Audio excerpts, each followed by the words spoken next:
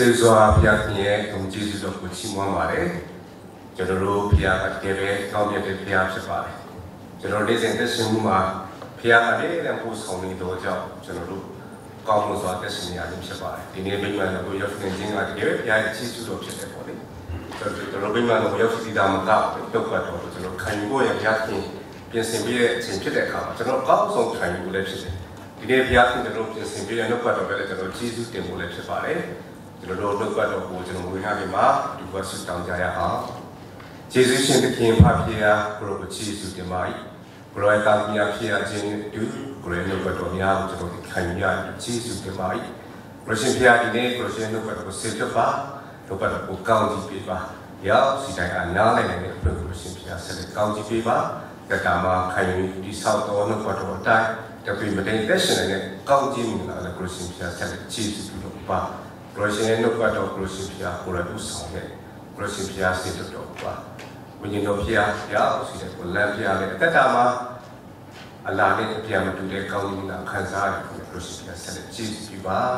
ကျေးဇူးတော်မြတ်ကိုရည်တချီးမွမ်းလဲခရစ်တော်ဖျားနာမတော်၌ယုံကြည်စွာဖြင့်ဆုတောင်းပါဖျားအာမင်ကျွန်တော်နေတဲ့ဒီနေ့ဝိညာဉ်တော်ရဲ့နှုတ်ကောင်းစင်ကတော့ခရစ်တော်ကိုယုံကြည်တော်သူတယောက်ရဲ့တက်တာ ခရစ်တော်ကိုယုံကြည်တော်သူတယောက်တက်တာဖြစ်ပါတယ်။အထူးသဖြင့်ကျွန်တော်တို့အားစီတိုင်းကခရစ်တော်ကိုယုံကြည်တဲ့သူတွေဖြစ်ပါတယ်။ဒါပေမဲ့အသက်ရှင်မှုကိုကျွန်တော်ပြန်ပြီးတော့စဉ်းစားတော့တစ်ခါတည်းကျွန်တော်အားလေးတဲ့ပိုင်းရှိအောင်ရှိမှာဖြစ်ပါတယ်။ဒါကြောင့်ဒီနေ့ကျွန်တော်နေတဲ့ဒီနှုတ်ကတော်ဝင်ထားရခြင်းဖြစ်ပါတယ်။အထူးသဖြင့်တမန်ကျမ်းစာကိုလေ့လာတဲ့အခါမှာ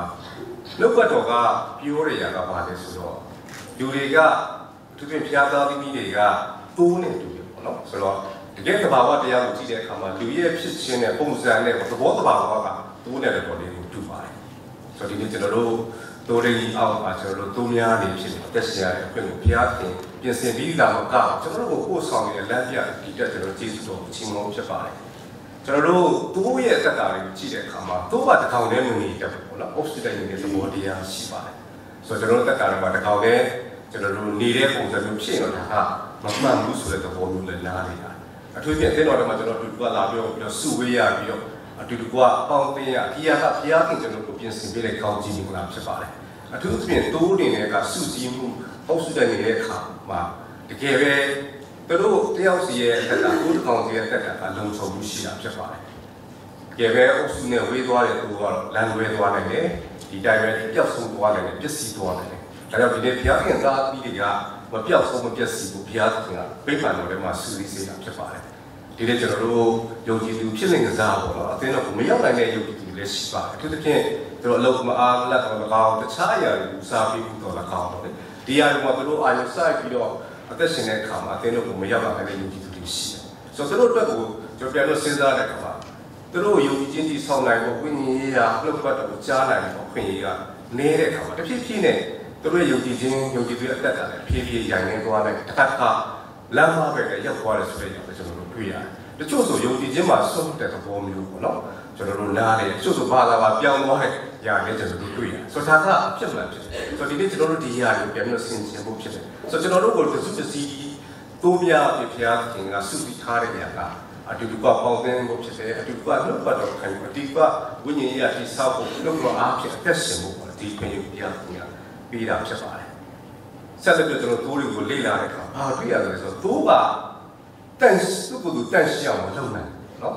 ဆိုတော့သူ့ကိုယ်သူတန်ရှင်းအောင်မလုပ်နိုင်ဘူးဆိုတော့ကျွန်တော်တွေ့ရတယ်ဆိုတော့သူ့ရဲ့သခင်ကသူ့ရဲ့တိုးတိုင်းကအမြဲတမ်းတန်ရှင်းရေးလုပ်ပြရဆိုတော့ဒီတိုင်းပဲကျွန်တော်တယောက်စီတိုင်းကလည်းကျွန်တော်တိုးတိုင်းရဲ့လမ်းပြမှုလိုတယ်တိုးတိုင်းရဲ့ကျွန်တော်တို့တုံ့တင်မှုတွေလိုတယ်တိုးတိုင်းရဲ့ကျွန်တော်တို့ရဲ့ဒီတန်ရှင်းအောင်တန်ဆင်အောင်လုပ်ပြီးလို့လိုတယ်ဆိုတော့ကျွန်တော်တို့ပြန်ပြီးတော့နားလည်ရဖြစ်ပါတယ်ဆိုတော့ဒီနေ့ ခရစ်တော်ဘုရားကကျွန်တော်တို့ရဲ့တိုးတိုင်းဖြစ်ပါတယ်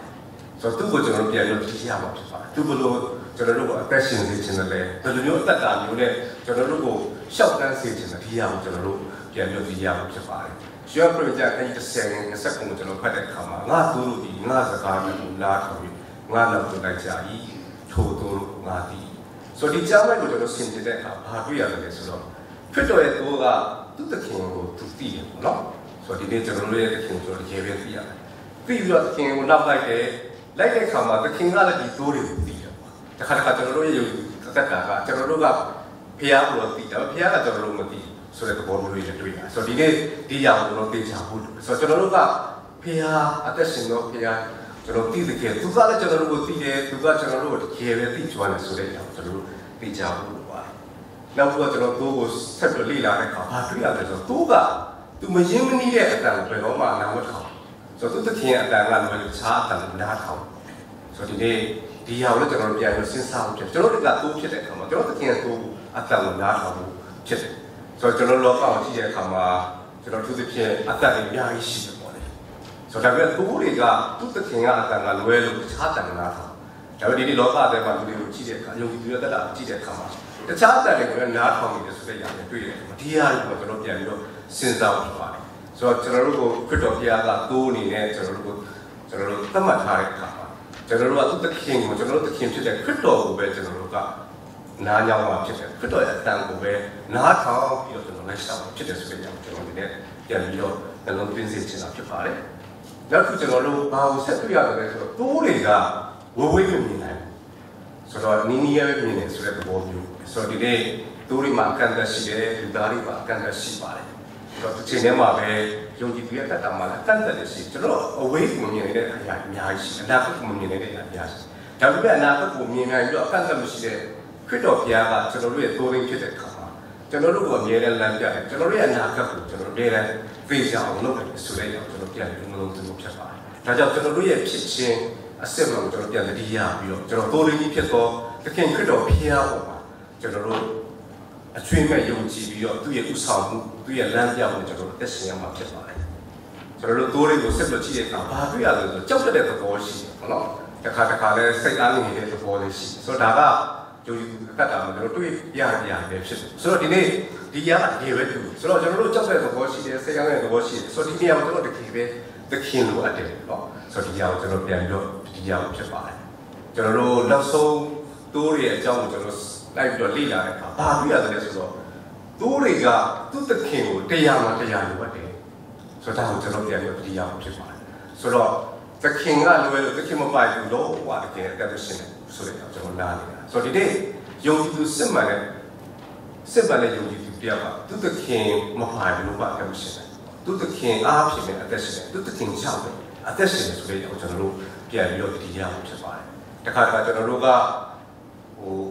ကျွယ်ဝလာတယ်ကျွန်တော်ပညာရေးတက်တယ်ခါကျွန်တော်တို့ကျွန်တော်တို့သခင်ကိုညှင်းဆန်မှုတွေဖြစ်လာတယ်ပါတယ်တခါတခါတော့ကျွန်တော်လောကရဲ့အပေးခေါ်လောကရဲ့အတန်ကကျွန်တော်ကြီးတဲ့အခါမှာလောကရဲ့တက်ကြွမှုတွေပညာတွေကမြင့်လာတဲ့အခါအနည်းပညာတွေကဖွံ့ဖြိုးလာတဲ့အခါမှာတခါတခါကျွန်တော်သခင်ကိုမေ့သွားတယ်သခင်ကိုပို့ပြီးတော့နေရာပြီးတဲ့နေရာကမှားလိုက်တယ်ဆိုတော့ဒီရောက်ကျွန်တော်ပြန်ပြီးတော့စဉ်းစားလို့ဖြစ်ပါတယ်ဆိုတော့ဒီနေ့ကျွန်တော်တို့နဲ့ကျွန်တော်တို့သခင်ရဲ့ဆက်ဆက်မှုကိုကျွန်တော်ပြန်ပြီးတော့ဒီရမှုဖြစ်ပါတယ်ကျွန်တော်တို့လောကတော်ကိုလေ့လာတဲ့အခါမှာ တစ်ချိန်တော့ကကျွန်တော်တရားစီတိုင်းကအပြည့်ရဲ့ကြီးကျုံဖြစ်ပါတယ်ဒါပေမဲ့ခရစ်တော်ဘုရားရဲ့ဝိနုကဲ့ခြင်းကျေးဇူးကြောင့်ကျွန်တော်ဖြောက်မှတ်တရားချင်းဖြောက်မှတ်တရားဖြောက်မှတ်ခြင်းရဲ့ကြီးကျုံဖြစ်တယ်တို့တို့သခင်ခရစ်တော်ဘုရားရဲ့ကျုံဖြစ်တယ်နော်ဆိုဒီရကိုကျွန်တော်ပြန်ပြီးတော့ဒီရကိုဖြစ်ပါတယ်ကျုံဆိုတဲ့အရာကသခင်ရဲ့စကားကိုနားထောင်ရသခင်ရဲ့အမိန့်ကိုနားခံရသခင်စေတဲ့အတိုင်းကျွန်တော်တို့ပြုရတဲ့သဘောမျိုးဖြစ်ပါတယ်ဆိုတော့ဒါကဘုရားခင်ကျွန်တော်တို့ဖြစ်စေခြင်းနဲ့ဘုရားရဲ့လိုဖြစ်ပါတယ်ဆိုတော့သူ့ရဲ့စကားကိုနားထောင်ခြင်းအပြင်သူ့ရဲ့စေရကိုလိုက်ခြင်းအပြင် ကျွန်တော်တို့တက်တာတွေကကောင်းကြီးခံစားရမမှားတဲ့လမ်းကိုကျွန်တော်ရှောက်နိုင်မှာဖြစ်တယ်။တစ်ချိန်တည်းမှာပဲမမှားတဲ့တက်တာနဲ့ဘုံတော်ထင်ရှားတဲ့တက်တာနဲ့အသက်ရှင်ကိုဘုရားသခင်ဖြစ်စကားဒါကဘုရားသခင်အလိုတော်ဖြစ်။ဒါကြောင့်ဒီနေ့ယုံကြည်သူတယောက်ရဲ့အသက်တာကမှန်တဲ့ယုံကြည်သူအသက်ရှင်ခြင်းမှန်တဲ့အသက်ရှင်ခြင်းဖြစ်ဖို့ရည်ရည်ကြည်ရဲဆိုတဲ့ကျွန်တော်တို့ဤတိုင်းနဲ့ကျွန်တော်တို့ဖော်ပြချင်တာဖြစ်ပါတယ်။ဒါကြောင့်ဒီနေ့ကျွန်တော်တို့မှန်ကန်တဲ့ယုံကြည်သူတယောက်ဖြစ်ဖို့သူပြင်ခရစ်တော်ကိုယုံကြည်သူတယောက်ရဲ့အသက်တာမှာ ရှိတဲ့တယ်ပေါ့နော်ကျွန်တော်တို့အချက်သုံးချက်ကိုကျွန်တော်လည်းဝင်ခါလို့ပါတယ်။တော့ချက်ကတော့ပါလေဆိုတော့ယုံကြည်ခြင်းရှိတဲ့အသက်တာဖြစ်ပါတယ်။ဆိုတော့ယုံကြည်ခြင်းရှိတဲ့အသက်တာဖြစ်ပါတယ်။ဆိုတော့ခရစ်တော်ကိုယုံကြည်တော်သူကယုံကြည်ခြင်းတကယ်ကိုရှိရမှာဖြစ်ပါတယ်။တခါတခါကျွန်တော်တို့ဘာကိုတွေ့ရတယ်ဆိုတော့ခရစ်တော်ကိုယုံပါတယ်။ယုံတယ်လို့ပြောတယ်ဒါပေမဲ့တကယ်ယုံကြည်ခြင်းကိုပြောတဲ့အခါမှာတို့မသိချာမရရတဲ့အများကြီးရှိတယ်ပေါ့။တခါတခါလူတွေကကဲတင်ခြင်းတွေပဲယုံတာလည်းရှိတယ်ပေါ့နော်။ဆိုတော့တခြားຢာတွေမယုံ။ဆိုတော့အဲ့ဒါတွေလည်းကျွန်တော်တို့တွေ့ရတယ်။ ဆိုတော့ဒီနေ့ဒီဟာကနေကျွန်တော်လွယ်ဖို့အရင်ကြီးပါတယ်။ကျွန်တော်တို့တကယ်ပဲခရစ်တော်ကိုအချွင်းမဲ့ကျွန်တော်ကယ်တင်ခြင်းယုံတယ်လို့ဘဝအသက်တာကျွန်တော်ရဲ့အရှင်သခင်ကျွန်တော်အစဉ်တည်းကျွန်တော်ယုံကြည်ရသူနဲ့သူ့ရဲ့နှုတ်ပတ်တော်သူ့ရဲ့ပညာချက်အားလုံးကိုကျွန်တော်တကယ်ပဲယုံကြည်ရမှာဖြစ်ပါတယ်အထူးသဖြင့်ကျွန်တော်တပါတမန်ကျမ်းစာကိုလေ့လာတဲ့အခါမှာရှင်ဘောလူရဲ့အသက်တာကိုကျွန်တော်တွေ့ရတယ်ဆိုရှင်ဘောလူကအချိန်တော့ကခရစ်တော်ကိုမယုံကြည်တဲ့သူဖြစ်တယ်ပေါ့နော်သူကတကယ်ပဲဖျားကိုယုံကြည်တယ် အထူးသဖြင့်သူကယူဒဘာသာထဲမှာရှိနေတဲ့သူဖြစ်တယ်ဆိုတော့အဲ့ဒီမှာသူကသူ့ဘာသာမှလည်းသူ့ဘာသာကိုတကယ်ပဲယုံကြည်တယ်တကယ်ပဲအထုထိပ်ဖြစ်တယ်ဆိုတဲ့အရာကိုလည်းသူကသူ့ဘာသာအထုထိပ်ဖြစ်တယ်ဆိုတဲ့အရာကိုလည်းသူခံထားတယ်ဒါပေမဲ့သူ့တက်ကကပြောင်းလဲလာတဲ့အခါမှာသူကခရစ်တော်ကိုယုံကြည်လက်ခံခဲ့တယ်ဆိုတဲ့အရာကိုကျွန်တော်တို့တွေ့ရတယ်ဆိုတော့အဲ့လိုလက်ခံတဲ့အခါမှာ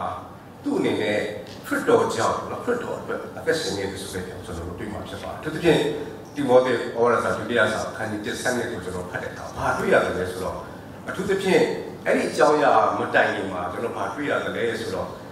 ရှင်ဘောလူကသူကအေဝံဒီတရားအတွက်ကိုလှုပ်ဆောင်အဲ့ဒီခါမှာသူကပြန်မှန်းခြင်းနဲ့ရှိတယ်ဆင်းရဲခံရခြင်းနဲ့ရှိတယ်ဒါပေမဲ့သူကရှက်ကြောက်ခြင်းမရှိဘူးเนาะဆိုဘယ်လောက်ပဲပြန်မှန်းရပါစေဘယ်လောက်ပဲဆင်းရဲခံရပါစေဘာလို့ဆိုတော့သူရဲ့ယုံကြည်ခြင်းကခရစ်တော်ပါအကျွေးမဲ့ရှိတော်ကြောင့်ဖြစ်တယ်ခရစ်တော်ကိုပဲယုံကြည်ပြီးခရစ်တော်ရဲ့စေရာခရစ်တော်ရဲ့ အမိန့်ကိုနာခံပြီးတော့သူကယုံကြည်တဲ့အတ္တမျိုးနဲ့သူကအသက်ရှင်တဲ့ခါမှာဒီနှုတ်ပတ်တော်သူကရေးတာဖြစ်ပါတယ်ထိုအကြောင်းကြောင့်ဤဆင်းရဲဒုက္ခကိုငါခံရပြီသို့တော်လည်းရှက်ချောက်ခြင်းမရှိအဘယ်သူကိုငါယုံကြည်ပြီဟုငါသိဆိုဒီနေ့ဒီစကားဒီကြမ်းမဲ့ကိုကျွန်တော်ပြန်လို့ဆင်ခြင်ရပါမယ်ဒီနေ့ကျွန်တော်တို့ဘသူကိုယုံကြည်တယ်လဲတရားမှာတရားရရင်လုံးယုံကြည်တဲ့သူကဘသူလဲเนาะဆိုတော့ဒီနေ့ပြတော့ဘုရားကျွန်တော်တို့ရဲ့ ကျွန်တော်ခုနပြောကျွန်တော်တို့ကတကယ်ပဲယုံကြည်တယ်ဆိုတဲ့အကြောင်းကျွန်တော်တို့သိချဖို့လိုပါတယ်ဆိုတော့ယုံကြည်သူရဲ့အသက်တာမှာအထူးလိုအပ်တဲ့နေရာကယုံကြည်ခြင်းရှိတဲ့အသက်တာဖြစ်တဲ့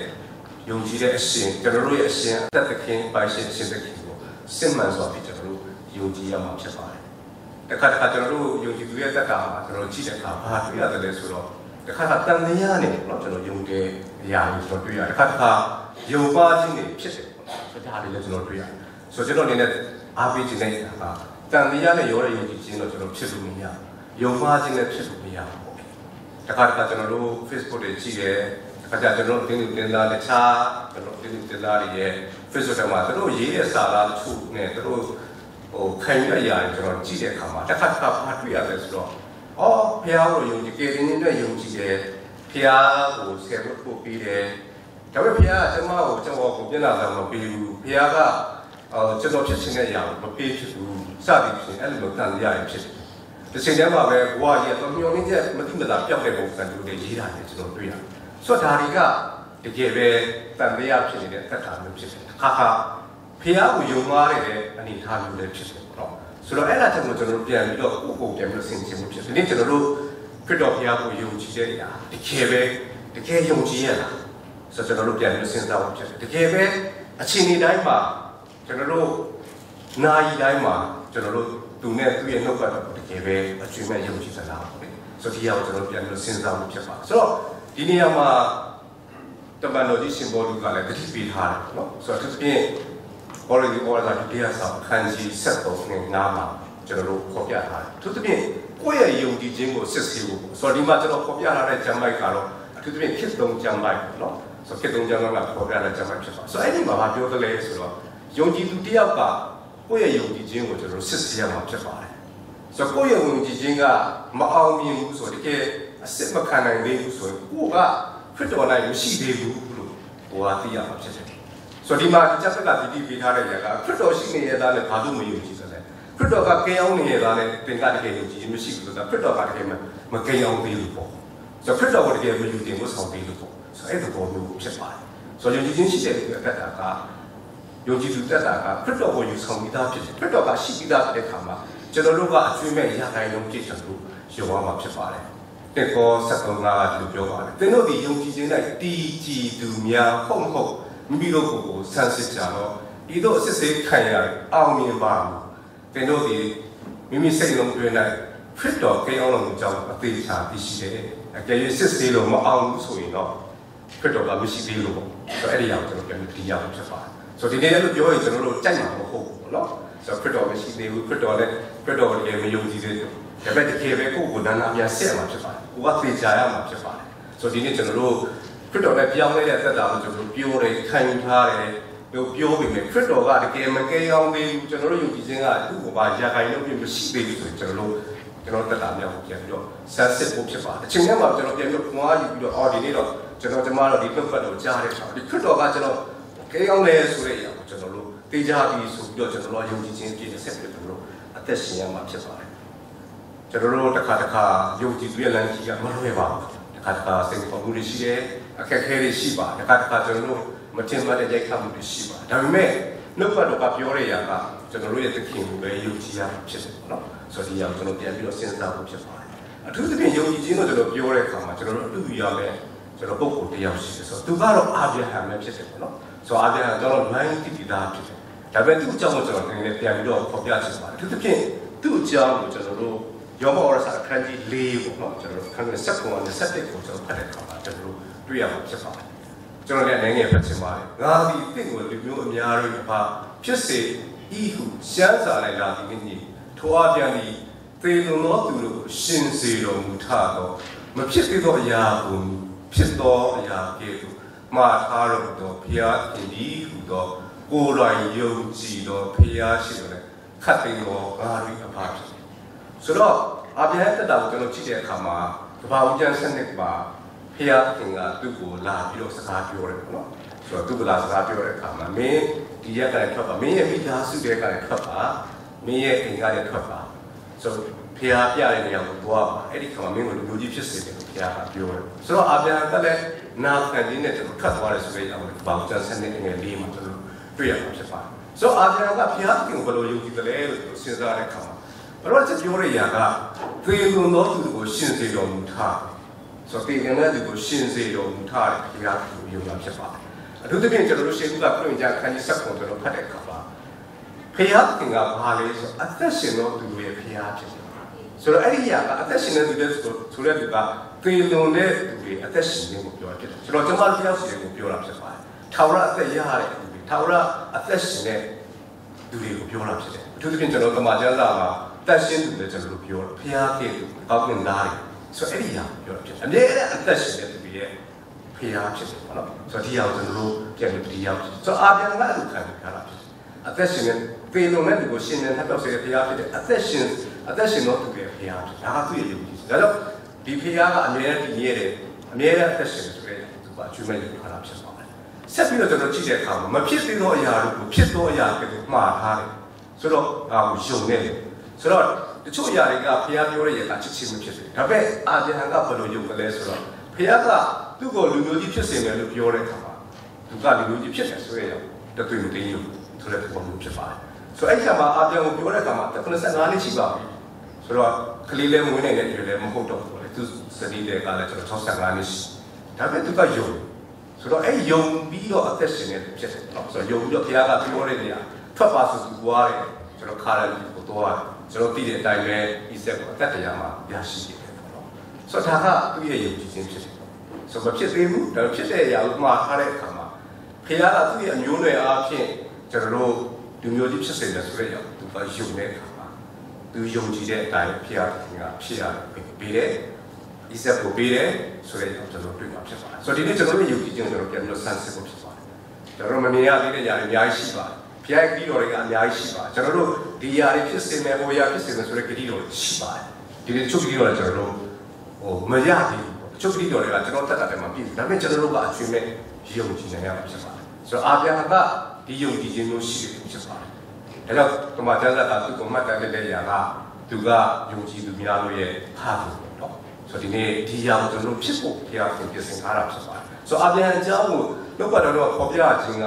ဒီနေ့ဘုရားကသူသားသမီးတွေကိုထိုခဲသူဖြစ်ဖို့ထိုခဲသောယုံကြည်ခြင်းရှိတဲ့အသက်ကလည်းအသက်ရှင်ဘုရားသူကပြင်ဆင်ထားတယ်ဆိုတော့ကျွန်တော်တို့ပြရမှာဖြစ်ပါတယ်။နောက်ကျွန်တော်ဆက်ပြီးတော့ဖတ်တဲ့အခါမှာဘာတွေ့ရလဲဆိုတော့ကျွန်တော်တင်းရဲ့မျိုးတွေဒီ ထိုသို့ဖြစ်လိမ့်မည်ဟုသောဗျာဒိတ်တော်အတိုင်းမိမိသည်ရိုးများ၍ပါဖြစ်ပြီးမျော်လင့်စရာအကြောင်းမရှိပဲယုံကြည်မျော်လင့်တယ်။ဆဖျားကဗျာဒိတ်ပေးတယ်လူမျိုးကြီးကဘာဖြစ်တယ်လို့ပြောတယ်။ဒါပေမဲ့သူ့အသက်တာမှာမျော်လင့်စရာအကြောင်းမရှိဘူး။သူအသက်ကြီးနေပြီ။သူစင်နေတဲ့အခါတက်ချင်းနေ။ဒါပေမဲ့ဖျားကပြောတော့ကြောင့်ဖျားပြောရင်ပြောတဲ့အတိုင်းဖြစ်မယ်ဆိုတဲ့အရာသူကယုံကြည်တယ်။ဆိုတဲ့တွေ့။ဆိုဒီနေ့မှာမျော်လင့်စရာအကြောင်းမရှိဘူး။ဆိုသူ့ရဲ့အသက်နေထားရသူ့စင်နေတဲ့အသက်နေထားရ အဲ့ဒီခေတ်ခါကတိုးတက်တဲ့စေပညာရခလေးရနိုင်ဘယ်လိုလုပ်ဖြစ်လဲ60 95 65တဲ့မျိုးသမီးဘယ်လိုပါရနိုင်ဖြစ်အကောင်းဆုံးမစေပညာဘယ်လောက်ပဲဖြစ်ဖြစ်ခဲ့ပါဆိုတော့ပျော်နေစရာအကြောင်းမရှိနိုင်တဲ့အနေအထားမျိုးဖြစ်ပါတယ်ဒါပေမဲ့သူကယုံကြည်ပြီးတော့မျှော်လင့်နေတယ်ဆိုတဲ့ကြောင့်ကျွန်တော်တို့တွေ့မှာဖြစ်ပါတယ်ဆိုတော့ဒီနေ့ကျွန်တော်တရားကိုကျွန်တော်ပြန်လို့စမ်းစစ်ဖို့ဖြစ်တယ်ကျွန်တော်တို့တက်တာမှာတစ်ခါတခါကျွေးရတယ်ကမျှော်လင့်ဖို့မဖြစ်နိုင်တဲ့ຢာရှိမှာပဲတစ်ခါတခါကျွန်တော်တို့ တဘာဝဆိုနာယောဂရင်းစီရှင်းနေပါတယ်ဒီခါကကျွန်တော်တက်တာလည်းမဖြစ်နိုင်အခက်အခဲချုပ်ခက်ခဲတယ်ဘလို့ကဖြည့်ရှင်းလို့မရဒါပေမဲ့ကျွန်တော်နားရရမရတာဘုရားကတဘာဝဆိုဖြစ်တဲ့အခါမှာကျွန်တော်တို့မျောလင့်ပေမဲ့ဒီမှာဖြစ်နိုင်တယ်ဘုရားကဖြစ်စေတယ်ဆိုတဲ့တကယ်ပဲယုံကြည်တယ်ဆိုရင်ဘုရားကအဲ့ဒီကိုကျွန်တော်ဖြစ်စေမှာဖြစ်ပါတယ်ဆက်လက်ပြီးတော့ဒီမှာကျမ်းစာဆက်ပြောလိုက်ရတာယုံကြည်အားကြီးပြီးဖြစ်မိမိအသက်တွေအနှစ်တရာလောက်ရှိပြီးမိမိကိုယ်တွေအသေးကဲလို့ရှိကြဘူး၎င်းမိမိခင်မ စာရာယူဝမ်းဒီပြေးကြောင်းလို့တော့မအောင်ဘူးဆိုတော့သူကအသက်တရားရှိနေသူမိသားမျိုးသမီးကအသက်60ဘလို့မှမဖြစ်နိုင်ဘူးဒါပေမဲ့ဖခင်က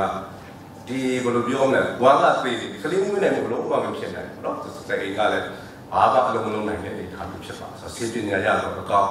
လူတွေရဲ့တဘာဝတရားရမဖြစ်နိုင်ဒါပေမဲ့သူကယုံကြည်ခြင်းအားကြီးတယ်လို့ကျွန်တော်ပြောရတယ်နောက်တစ်ခုကယုံမှားသောစိတ်နဲ့ကျင်း၍ ဖခင်ဂတိတော်ကိုတွေးတော်ခြင်းမရှိဆိုတော့အဲ့ဒါအရင်ကြီးကြီးပါတယ်ဆိုယုံမှားသောစိတ်နဲ့ကျင်းတယ်ဆိုယုံကြည်ခြင်းရဲ့ပြဿနာကပါလေယုံမှားခြင်းဖြစ်ဖြစ်တာယုံကြည်ခြင်းရဲ့ယန္တုကယုံမှားခြင်းဖြစ်ပါတယ်ဆိုတော့ဒီနေ့အာဗြဟံကယုံမှားခြင်းနဲ့ကျင်းတယ်ဆိုတော့ဘုရားကသူပြောရင်ပြောရတယ်ဖြစ်မယ်ဆိုတဲ့ကြောင့်အကျွေးမဲ့ယုံကြည်ပြီးဖြစ်တယ်အဲ့တော့သူကယုံမှားခြင်းနဲ့ကျင်းတယ်ကျင်းတော့သူကဘုရားခင်ကဘုရားခင်ဂတိတော်ဘလို့ကတွေးတော်ခြင်းမရှိဘူးဆိုတော့ဒီနေ့ကျွန်တော်တို့ကမှကျမ်းစာဖတ်တဲ့ခါမှာ ကျွန်တော်ကျွန်မတယောက်စီတိုင်းပေးထားတဲ့ဂတိတော်တွေကအများကြီးရှိတယ်ဆိုတော့ဒီຢာတွေကပြည့်စုံမှာဖြစ်တယ်ဆိုတော့နှုတ်ကပတ်တော်ကဒါကိုတိတိကျပြောပါတယ်ဆိုတော့ဘုရားရဲ့စကားလုံးမပြည့်စုံနေတဲ့ပေတော်ခါမှာပြတ်ပါလားဘုရားနှုတ်ကပတ်တော်ကပြည့်စုံဖို့ပဲရှိတယ်နော်ဆိုတော့ဒါကိုလည်းကျွန်တော်တို့တိတိသားဖြစ်တယ်ဒါကြောင့်အာဗြဟံရဲ့ယုံကြည်ခြင်းကိုကြည့်တဲ့အခါဘုရားကြီးတော်တွေးတော်ခြင်းမရှိဆိုတော့ကျွန်တော်တို့တွေကလည်းပုံခဲ့လို့ဟိုယုံကြည်သူရဲ့အသက်ရှင်မှုမှာတကယ်မှန်တဲ့ယုံကြည်ခြင်းရှိဖို့တွေးတော်ခြင်းမရှိဖို့ရန်ရည်ကြည့်ပါတယ်တန်မြာမရှိဖို့လိုအပ်ပါတယ် ယုံကြည်အားဖြင့်ဘုရားကိုချီးမွမ်းဂတိထားတော်မူသောသူသည်ဂတိတော်အတိုင်းတတ်နိုင်တော်မူသူကိုဆွဲလန်းနေဆိုတော့ဘုရားကဂတိပေးထားရင်ဂတိတော်တိုင်းဖြစ်မယ်ဆိုတဲ့အရာကိုကျွန်တော်တို့လှုပ်ဆောင်မယ်ဆိုတဲ့အရာကိုသူကယုံကြည်စိတ်ဆွဲလန်းစိတ်ထမှအမြဲတမ်းရှိဆိုတဲ့အရာကိုကျွန်တော်တွေ့မှာဖြစ်ပါတယ်ဒါကြောင့်ကျွန်တော်တို့ကျွန်တော်တို့ဒီနေ့ဘုရားကထာဝရသက်ပေးတယ်ဆိုဒါအရာကြီးတာပဲဆိုတော့ဘုရားကတင့်ကိုအောင်မြင်စေမယ်ဆိုအောင်မြင်မှာပဲဆိုတော့ဒါကဘုရားရဲ့ဂတိတော်ဖြစ်တယ်အဲ့ဒီတော်လည်းပြည့်စုံဖြစ်ပါတယ်ဆိုတော့ကျွန်တော်တို့ အစပိုင်းမှာကျွန်တော် praise and worship မှာလည်းကျွန်တော်ဆိုခဲ့တဲ့အရာရှိသစ္စာပြည့်စုံတဲ့ဘုရားဆိုတော့ဘုရားရဲ့သစ္စာဘုရားရဲ့ဂတိတော်နဲ့ပြည့်စုံတဲ့ဘုရားကဘယ်တော့အခါမှသူ့ရဲ့ဂတိတော်သစ္စာဖြတ်လို့မရဘူး။ဒါပေမဲ့ဘုရားကအမြဲတမ်းတည်မြဲတဲ့ဘုရားဖြစ်တဲ့အခါမှာသူ့ရဲ့ဂတိတော်နဲ့သစ္စာတော်ကအမြဲတမ်းတည်မြဲမှာဖြစ်ပါတယ်။ဆိုတော့လူကဲတော့ကံတမရှိဘူးဘုရားဖြစ်တဲ့အခါမှာကျွန်တော်တာဟိယုံကြည်နိုင်မှုပဲဖြစ်ပါတယ်။ဒါကြောင့်ကျွန်တော်တို့အာပြန်ရဲ့အသက်တာကိုတကယ်ပဲအတူယူပြီးတော့ယုံကြည်ခြင်းရှိတဲ့အသက်တာနဲ့ကျွန်တော်တို့တက်ရှိရမှာဖြစ်ပါတယ်။ ဆက်လက်ပြီးတော့ကျွန်တော်ကျွန်တော်ဖတ်တဲ့အခါမှာဟေဘရဲဆက်ချက်ပါကျွန်တော်ဒီပြထားရတာတခုရှိတယ်။ဆိုတော့ယုံကြည်ခြင်းမရှိရင်ဘုရားရဲ့စိတ်တော်နဲ့မတွေ့နိုင်။အကြောင်းကဘုရားခင်ခံလို့ချင်းကပ်တော်သူဒီဘုရားခင်ရှိတော်မူသူကိုတော့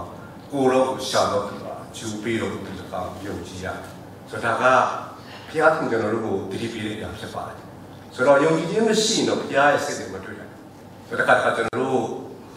ယုံကြည်ခြင်းမရှိဘဲနဲ့တခါတခါဆူတောင်းတတ်တဲ့ခါလည်းရှိတယ်။ဟောဆိုဒီအရာကိုကျွန်တော်ပြန်လို့ဆင်ပြေဖို့ဖြစ်ပါတယ်။ဆိုတော့ရှင်ရပုဂ္ဂိုလ်ကတည်ပေးထားတဲ့အရာကစိတ်နဲ့ခွာရှိတယ်နော်ဆိုတော့ယုံကြည်လိုက်ရင်ယုံကြည်တဲ့တန်လူနဲ့တန်တဲ့တွဲရမျိုးဆိုရင်အလုပ်မဖြစ်ဘူးတဲ့ဆိုတော့ဒါကိုကျွန်တော်ပြန်လို့စဉ်းစားမှဖြစ်ပါဆိုတော့ဒီနေရာမှာတခါတခါကျွန်တော်တို့ဆုတောင်းခြင်းကိုကျွန်တော်လုပ်ကြတကယ်ဆုတောင်းတဲ့အခါမှာတကယ်ယုံကြည်ခြင်းရှိဖို့ပါပါတယ်ဆိုတော့ဘုရားသခင်ကျွန်တော်တကယ်ပဲချင်းကြတယ်ဆိုဘုရားသခင်ကျွန်တော်တို့ပြေခံဘုရားသခင်တကယ်ရှိတယ်ကျွန်တော်တို့တကယ်ရှိတယ်ဆိုတဲ့အရာကိုကျွန်တော်ယုံကြည်နိုင်ပြီးတော့ ဘုရားသခင်ကိုချင်းကြတဲ့သူတိုင်းကဆုတောင်းတာပြုတဲ့သူတိုင်းကဘုရားသခင်စီကအကျိုးရမှာဆိုတဲ့အရာကိုကျွန်တော်တို့ယုံကြည်ရမှာဖြစ်ပါတယ်အဲ့ဒီနှလုံးသားနဲ့ကျွန်တော်ဆုတောင်းမယ်ဆိုရင်ကျွန်တော်တို့ရဲ့ဆုတောင်းချက်တွေကဘုရားနားကြောင်လို့ဖြစ်ပြီးမှဖြစ်ပါတယ်။ဒါကြောင့်ကျွန်တော်တို့ရဲ့ယုံကြည်ခြင်းကိုကျွန်တော်ပြန်ပြီးတော့မြင့်တင်ဖို့ဖြစ်တယ်။အချိန်ထဲမှာကျွန်တော်တို့အားနည်းနေပြီးပြန်ပြီးတော့ကျွန်တော်ယုံကြည်ခြင်းကိုပြန်ပြီးတော့ဆန်းစစ်ပြီးတော့ပြုစုဖို့ဖြစ်ပါတယ်။ကျွန်တော်တို့လုံမဲ့တော်နှစ်ပေါင်းများစွာပေါ့နော်။ဒါဒီအနောက်နိုင်ငံမှာဖြစ်ခဲ့တဲ့အတွေ့အကြုံတစ်ခုပေါ့။ အဲ့ဒီမှာဘာဖြစ်လဲဆိုတော့အဲ့ဒီခေတ်ကတော့တော့ကကျွန်တော်ဂျိုးဒန်ကိုရှောက်တဲ့နေရာကသိခင်မစားဘူးဂျိုးဒန်ကိုကျွန်တော်လမ်းလျှောက်တယ်ပေါ့နော်ဆိုတော့အဲ့ဒါကျွန်တော်အားလုံးသိထားတဲ့နေရာဆိုတော့စက်ကတ်တွေမှာကျွန်တော်လမ်းလျှောက်တယ်ဆိုတော့အဲ့ဒီမှာဒီဂျိုးဒန်မှာလမ်းလျှောက်တဲ့ဒီ step နံပါတ်ကပေါ့နော်ဆိုတော့တောက်တစ်လုံးနဲ့တစ်လုံးနဲ့ပေါ့နော်ဂျားထဲမှာဂျိုးနဲ့ချီပြီးတော့ကျွန်တော်လမ်းလျှောက်ပြတယ်ပေါ့နော်ဆိုတော့ဒီဘက်တောင်ကနေဥပဒေတောင်ကိုသွားပြဆိုတော့အောက်မှာပြိဿတွေရှိတာပေါ့နော်ပြိတ္တတွေရှိတယ်သူကလည်းပြန်လာတယ် ဘုဘကပြန်လို့ဒီဘက်ပြန်လာတဲ့ခါပြိတ္တတွေကလက်ခုတီးလို့ဩပါပဲအာတကယ်တော်တယ်ပေါ့တကယ်တော်တယ်ပေါ့နော်ဆိုတော့အဲ့ခါမှာကျွန်တော်တို့ဒီဂျိုးဒန်ရှော့တဲ့သမားကပြောတယ်ကျွန်တော်လည်းအတင်းတို့ဒီအလူရှိကိုခေါ်သွားနိုင်တယ်ပေါ့နော်ဆိုတော့ဆိုတော့အဲ့ဒါယုံမလားလို့မေးတယ်နော်ဆိုတော့အောက်ကလူတွေကယုံတယ်ပေါ့နော်ဆိုတော့သူတို့ခေါ်သွားနိုင်တယ်ဒါဆိုရင်သူဂုတ်ပေါ်ကနေတက်ပြီးတော့ကိုယ့်ဘက်ကိုသွားမယ်ပေါ့လေအဲ့ဘလူးဘလူးလိုက်မလဲဆိုမေးတယ်ဆိုအဲ့ဒီမှာဘလူးတွေကမလိုက်တော့တယောက်ကမယုံကြည်တော့ ဘူးနော်ဘယ်လိုဆိုတော့တစ်ခါတစ်ခါယုံကြည်ခြင်းကအဲ့လိုပဲတစ်ခါတစ်ခါကျွန်တော်ယုံကြည်သူပြောတဲ့အခါပါဇက်နဲ့ပြောတာလွယ်တယ်စိတ်နဲ့ပြောတာဉာဏ်နဲ့ပြောတာအများလွယ်တယ်တကယ်လက်တွေ့မှာတကယ်လှုပ်ဆောင်နိုင်ဖို့ချွတ်ရတယ်ဖြစ်ခဲ့ပါတယ်ဆိုတော့ဒီညမှာကျွန်တော်တို့ဘာတွေ့ရလဲဆိုတော့အဲ့ဒီကျွလန်ရှော့ဝဝမှာအဲ့ဒီကလင်းငယ်တယောက်ကထိုက်သွားတယ်ဆိုတော့သူကသွားတယ်ပြန်လာဆိုတော့တစ်ခါတစ်ခါကျွန်တော်တို့ကလင်းငယ်တကယ်ယုံကြည်ခြင်းကလည်းအမှန်ကန်တစ်ခါတစ်ခါကျွန်တော်တူရမယ့်အရာရှိတယ်နော်ဆိုတော့တစ်ခါတစ်ခါကျွန်တော်ယုံကြည်ခြင်းကိုကျွန်တော်ပြန်ပြီးဆန်းစစ်တဲ့အခါပို့လဲလို့ဆိုတော့ဒီနေ့ ဒီကျိုးရန်ရဲ့သမိုင်းဖြစ်ချက်လေးကျွန်တော်ပြန်စဉ်းစားတယ်တကယ်ပဲယုံကြည်ခြင်းရှိရဆိုတခင်တဲ့နေရာတိုင်းကိုကျွန်တော်တို့သွားလိုက်တခင်စီရာတိုင်းခက်ခဲနေခက်ခဲမယ်ကျွန်တော်တို့စင်ကောမှုတွေအများကြီးရှိရှိဒါပေမဲ့ကျွန်တော်တို့အဆုံးတိုင်အောင်ကျွန်တော်လိုက်ဆောင်လိုက်နိုင်မှာဖြစ်တယ်လှုပ်ဆောင်နိုင်မှာဖြစ်တယ်ဒါကြောင့်ကျွန်တော်တို့ယုံကြည်ခြင်းတကယ်ပဲရှိဖို့ယုံကြည်ခြင်းရှိတဲ့အသက်တာတကယ်ပဲ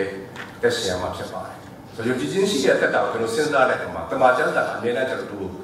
မိမောင်းကိုကြည့်ပြီးတဲ့ຢာက ကျွန်တော်သူပြန်တော့ပြန်3 5နဲ့6ပေါ့လေဆိုတော့ထာဝရဘုရားကိုစိတ်နှလုံးကျွေးမဲ့ကိုးစားလို့ကျွေးမဲ့ကိုးစားလို့ဆိုတဲ့ຢာကသူရဲ့သဘောတရားကယုံကြည်ကိုးစားတာနော်အကျွေးမဲ့အယုံမဲ့ယုံကြည်ယုံကြည်မှကိုးစားရဆိုတဲ့ပုံမျိုးဆိုတော့ယုံကြည်ခြင်းရှိတဲ့အသက်တာကိုစဉ်းစားတဲ့အခါမှာဖျားပေါ်မှာတတရားမရှိပဲလေယုံမှချင်းကျင်းပြီးတော့နော်ကျွန်တော်စိတ်နှလုံးအကျွေးမဲ့နဲ့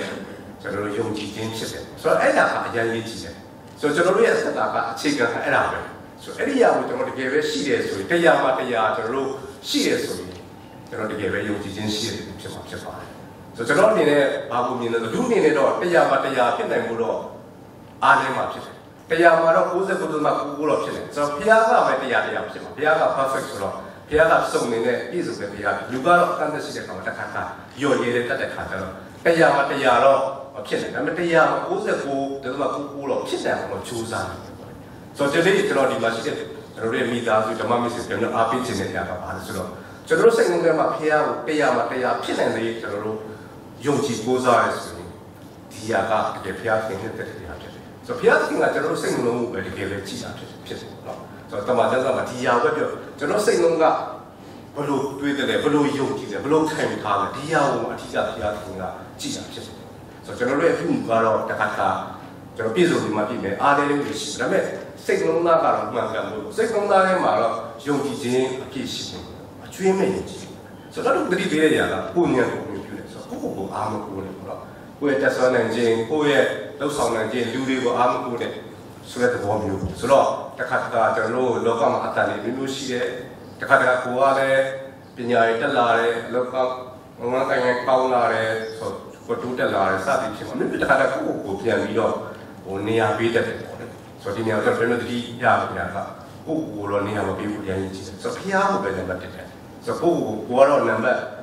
ကျွန်တော်တို့နောက်မှာဖြစ်ရဖြစ်ဖြစ်တယ်ဆိုတော့ကိုယ့်ကိုယ်နည်းနည်းလေးကျွန်တော်တို့ဦးစားပေးတာလည်းကျွန်တော်တို့ယုံကြည်ခြင်းကလွတ်သွားတယ်နော်ဆိုတော့ဒီအောင်ကျွန်တော်ပြန်လို့ကြည့်ရအောင်ဖြစ်ပါဆိုတော့ယုံကြည်ခြင်းရှိတဲ့တက်တာကတော့တရားမှတရားဘုရားကိုယုံကြည်မဲ့ယုံကြည်တာဖြစ်တယ်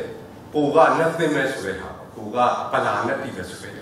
န်တော် ခံယူဖြစ်တယ်ဆိုတော့တစ်ခုကသွားနေရတဲ့ထာဝရဘုရားကိုမျက်မှောက်ပြုလို့ဆိုတော့ဒါဟာလည်းအရင်ကြီးကြည့်တယ်ပေါ့မျက်မှောက်ပြုခြင်းဆိုတဲ့ຢာကဖျားကိုအမြဲတမ်းတတိယခြင်းဖြစ်တယ်ဖျားကိုအတိမတ်ပြုခြင်းဖြစ်တယ်ဖျားကိုနေရာပေးခြင်းဖြစ်တယ်ဆိုတော့ဒီနေရာမှာသွားနေရပဲပြောတဲ့အခါမှာလှုပ်ဆောင်နေရရနိုင်နော်ဆိုတော့ဖျားအရှင်ဆုံးတတိယဖြစ်တယ်ဆိုတော့ဖျားကိုပထမဆုံးတိုင်ပင်ဆွေးနွေးတာဖြစ်တယ်ဆိုတော့ဖျားကိုအရှင်ဆုံးအနန္တဖြစ်တယ်ဖျားအနန္တဖျားကဘာလို့စိတ်တယ်ဆိုတဲ့ ဆိုတော့ဒီဟာကိုလှုပ်ဆောင်နေရဖြစ်တယ်ဆိုတော့ဒါယုံကြည်ခြင်းရှိတဲ့အတ္တကာမျိုးဖြစ်တယ်ဆိုတော့ဆိုတော့ဒီဟာကိုကျွန်တော်ပြန်ပြီးတော့စဉ်းစားဖို့ဖြစ်ပါတယ်ဆိုတော့တစ်ခုက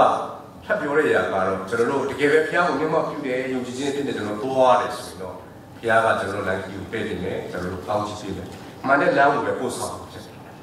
ဒါကြောင့်ကျွန်တော်တို့ကျွန်တော်တို့ယုံကြည်ခြင်းရှိတဲ့အတ္တတာတကယ်ပဲတက်တည်ထူအောင်မှာဖြစ်ပါတယ်ဆိုတော့ဒီနေ့အပြန်တက်တာကိုကျွန်တော်တကယ်ပဲတူယူအောင်မှာဖြစ်ပါတယ်ကျွန်တော်တို့ ဓမ္မကျမ်းစာပေါ်ပြတဲ့ဒီနှုတ်ပတ်တော်တွေကိုကျွန်တော်တကယ်ပဲယုံကြည်လက်ခံပါအဲ့လိုလက်ခံတဲ့အကျွေးမဲ့ယုံကြည်တယ်ဘုရားတဲ့ဘဖျက်စကားကအများနဲ့မှန်တယ်ဒီအပြတ်ကြီးတို့ကအများနဲ့ပြည့်ဆိုတဲ့ကြောင့်ကျွန်တော်မြန်နှလုံးသွင်းပြီးတော့ကျွန်တော်တို့ဝန်ခံနိုင်တယ်အများနဲ့ယုံကြည်နိုင်တယ်ဆိုရင်ကျွန်တော်တို့ရဲ့ယုံကြည်ခြင်းရှိတဲ့တက်တာကတကယ်ပြည့်စုံမှာဖြစ်ပါတယ်ဒါကြောင့်ကျွန်တော်တို့ရဲ့တက်တာကိုဆက်ဆက်ပြီးတော့ကျွန်တော်တို့စူးစမ်းဖို့ဖြစ်တယ်အားနည်းနေတဲ့လူရှိကောင်းရှိပါလိမ့်မယ်ဒါပေမဲ့ကျွန်တော်ပြန်ပြီးတော့စူးစမ်းဖို့ဖြစ်တယ်ဆိုတော့အတိုင်းအတာတစ်ခုရောက်နေပြီကျွန်တော်တို့ တက်တာမှာယုံကြည်ခြင်းနဲ့ကြီးနေပြီပို့ပြီးတော့ယုံကြည်ဖို့လည်းဖြစ်တယ်ဆိုတော့ကျွန်တော်ဒီနေ့ခေါ်အားပေးခြင်းပါတယ်ဆိုတော့ဒုတိယချက်အနေနဲ့ခေါ်အားပေးခြင်းရဲ့ຢာကပါလဲဆိုတော့နာခံခြင်းရှိတဲ့တက်တာဆိုတော့ယုံကြည်ခြင်းကအမြဲတမ်းနာခံခြင်းတဲ့တွဲတယ်ဆိုတော့ကျွန်တော်နားလည်ဖို့ဖြစ်ပါတယ်အထူးသဖြင့်လူသားတွေရဲ့အစကြဆုံးခြင်းကိုကျွန်တော်စဉ်းစားတဲ့အခါမှာလူရဲ့မနာခံခြင်းကြောင့်ဖြစ်တယ်ပေါ့နော်ဆိုတော့ဘုရားကတော့လူကိုနာခံနိုင်ဖို့ကျွန်တော်တို့ ပြင်ဆင်ထားပြီပဲလူကမနာခံခြင်းကြောင့်ကျွန်တော်တို့သားတွေကကြဆုံးတဲ့အဖြစ်တရားကဝင်လာ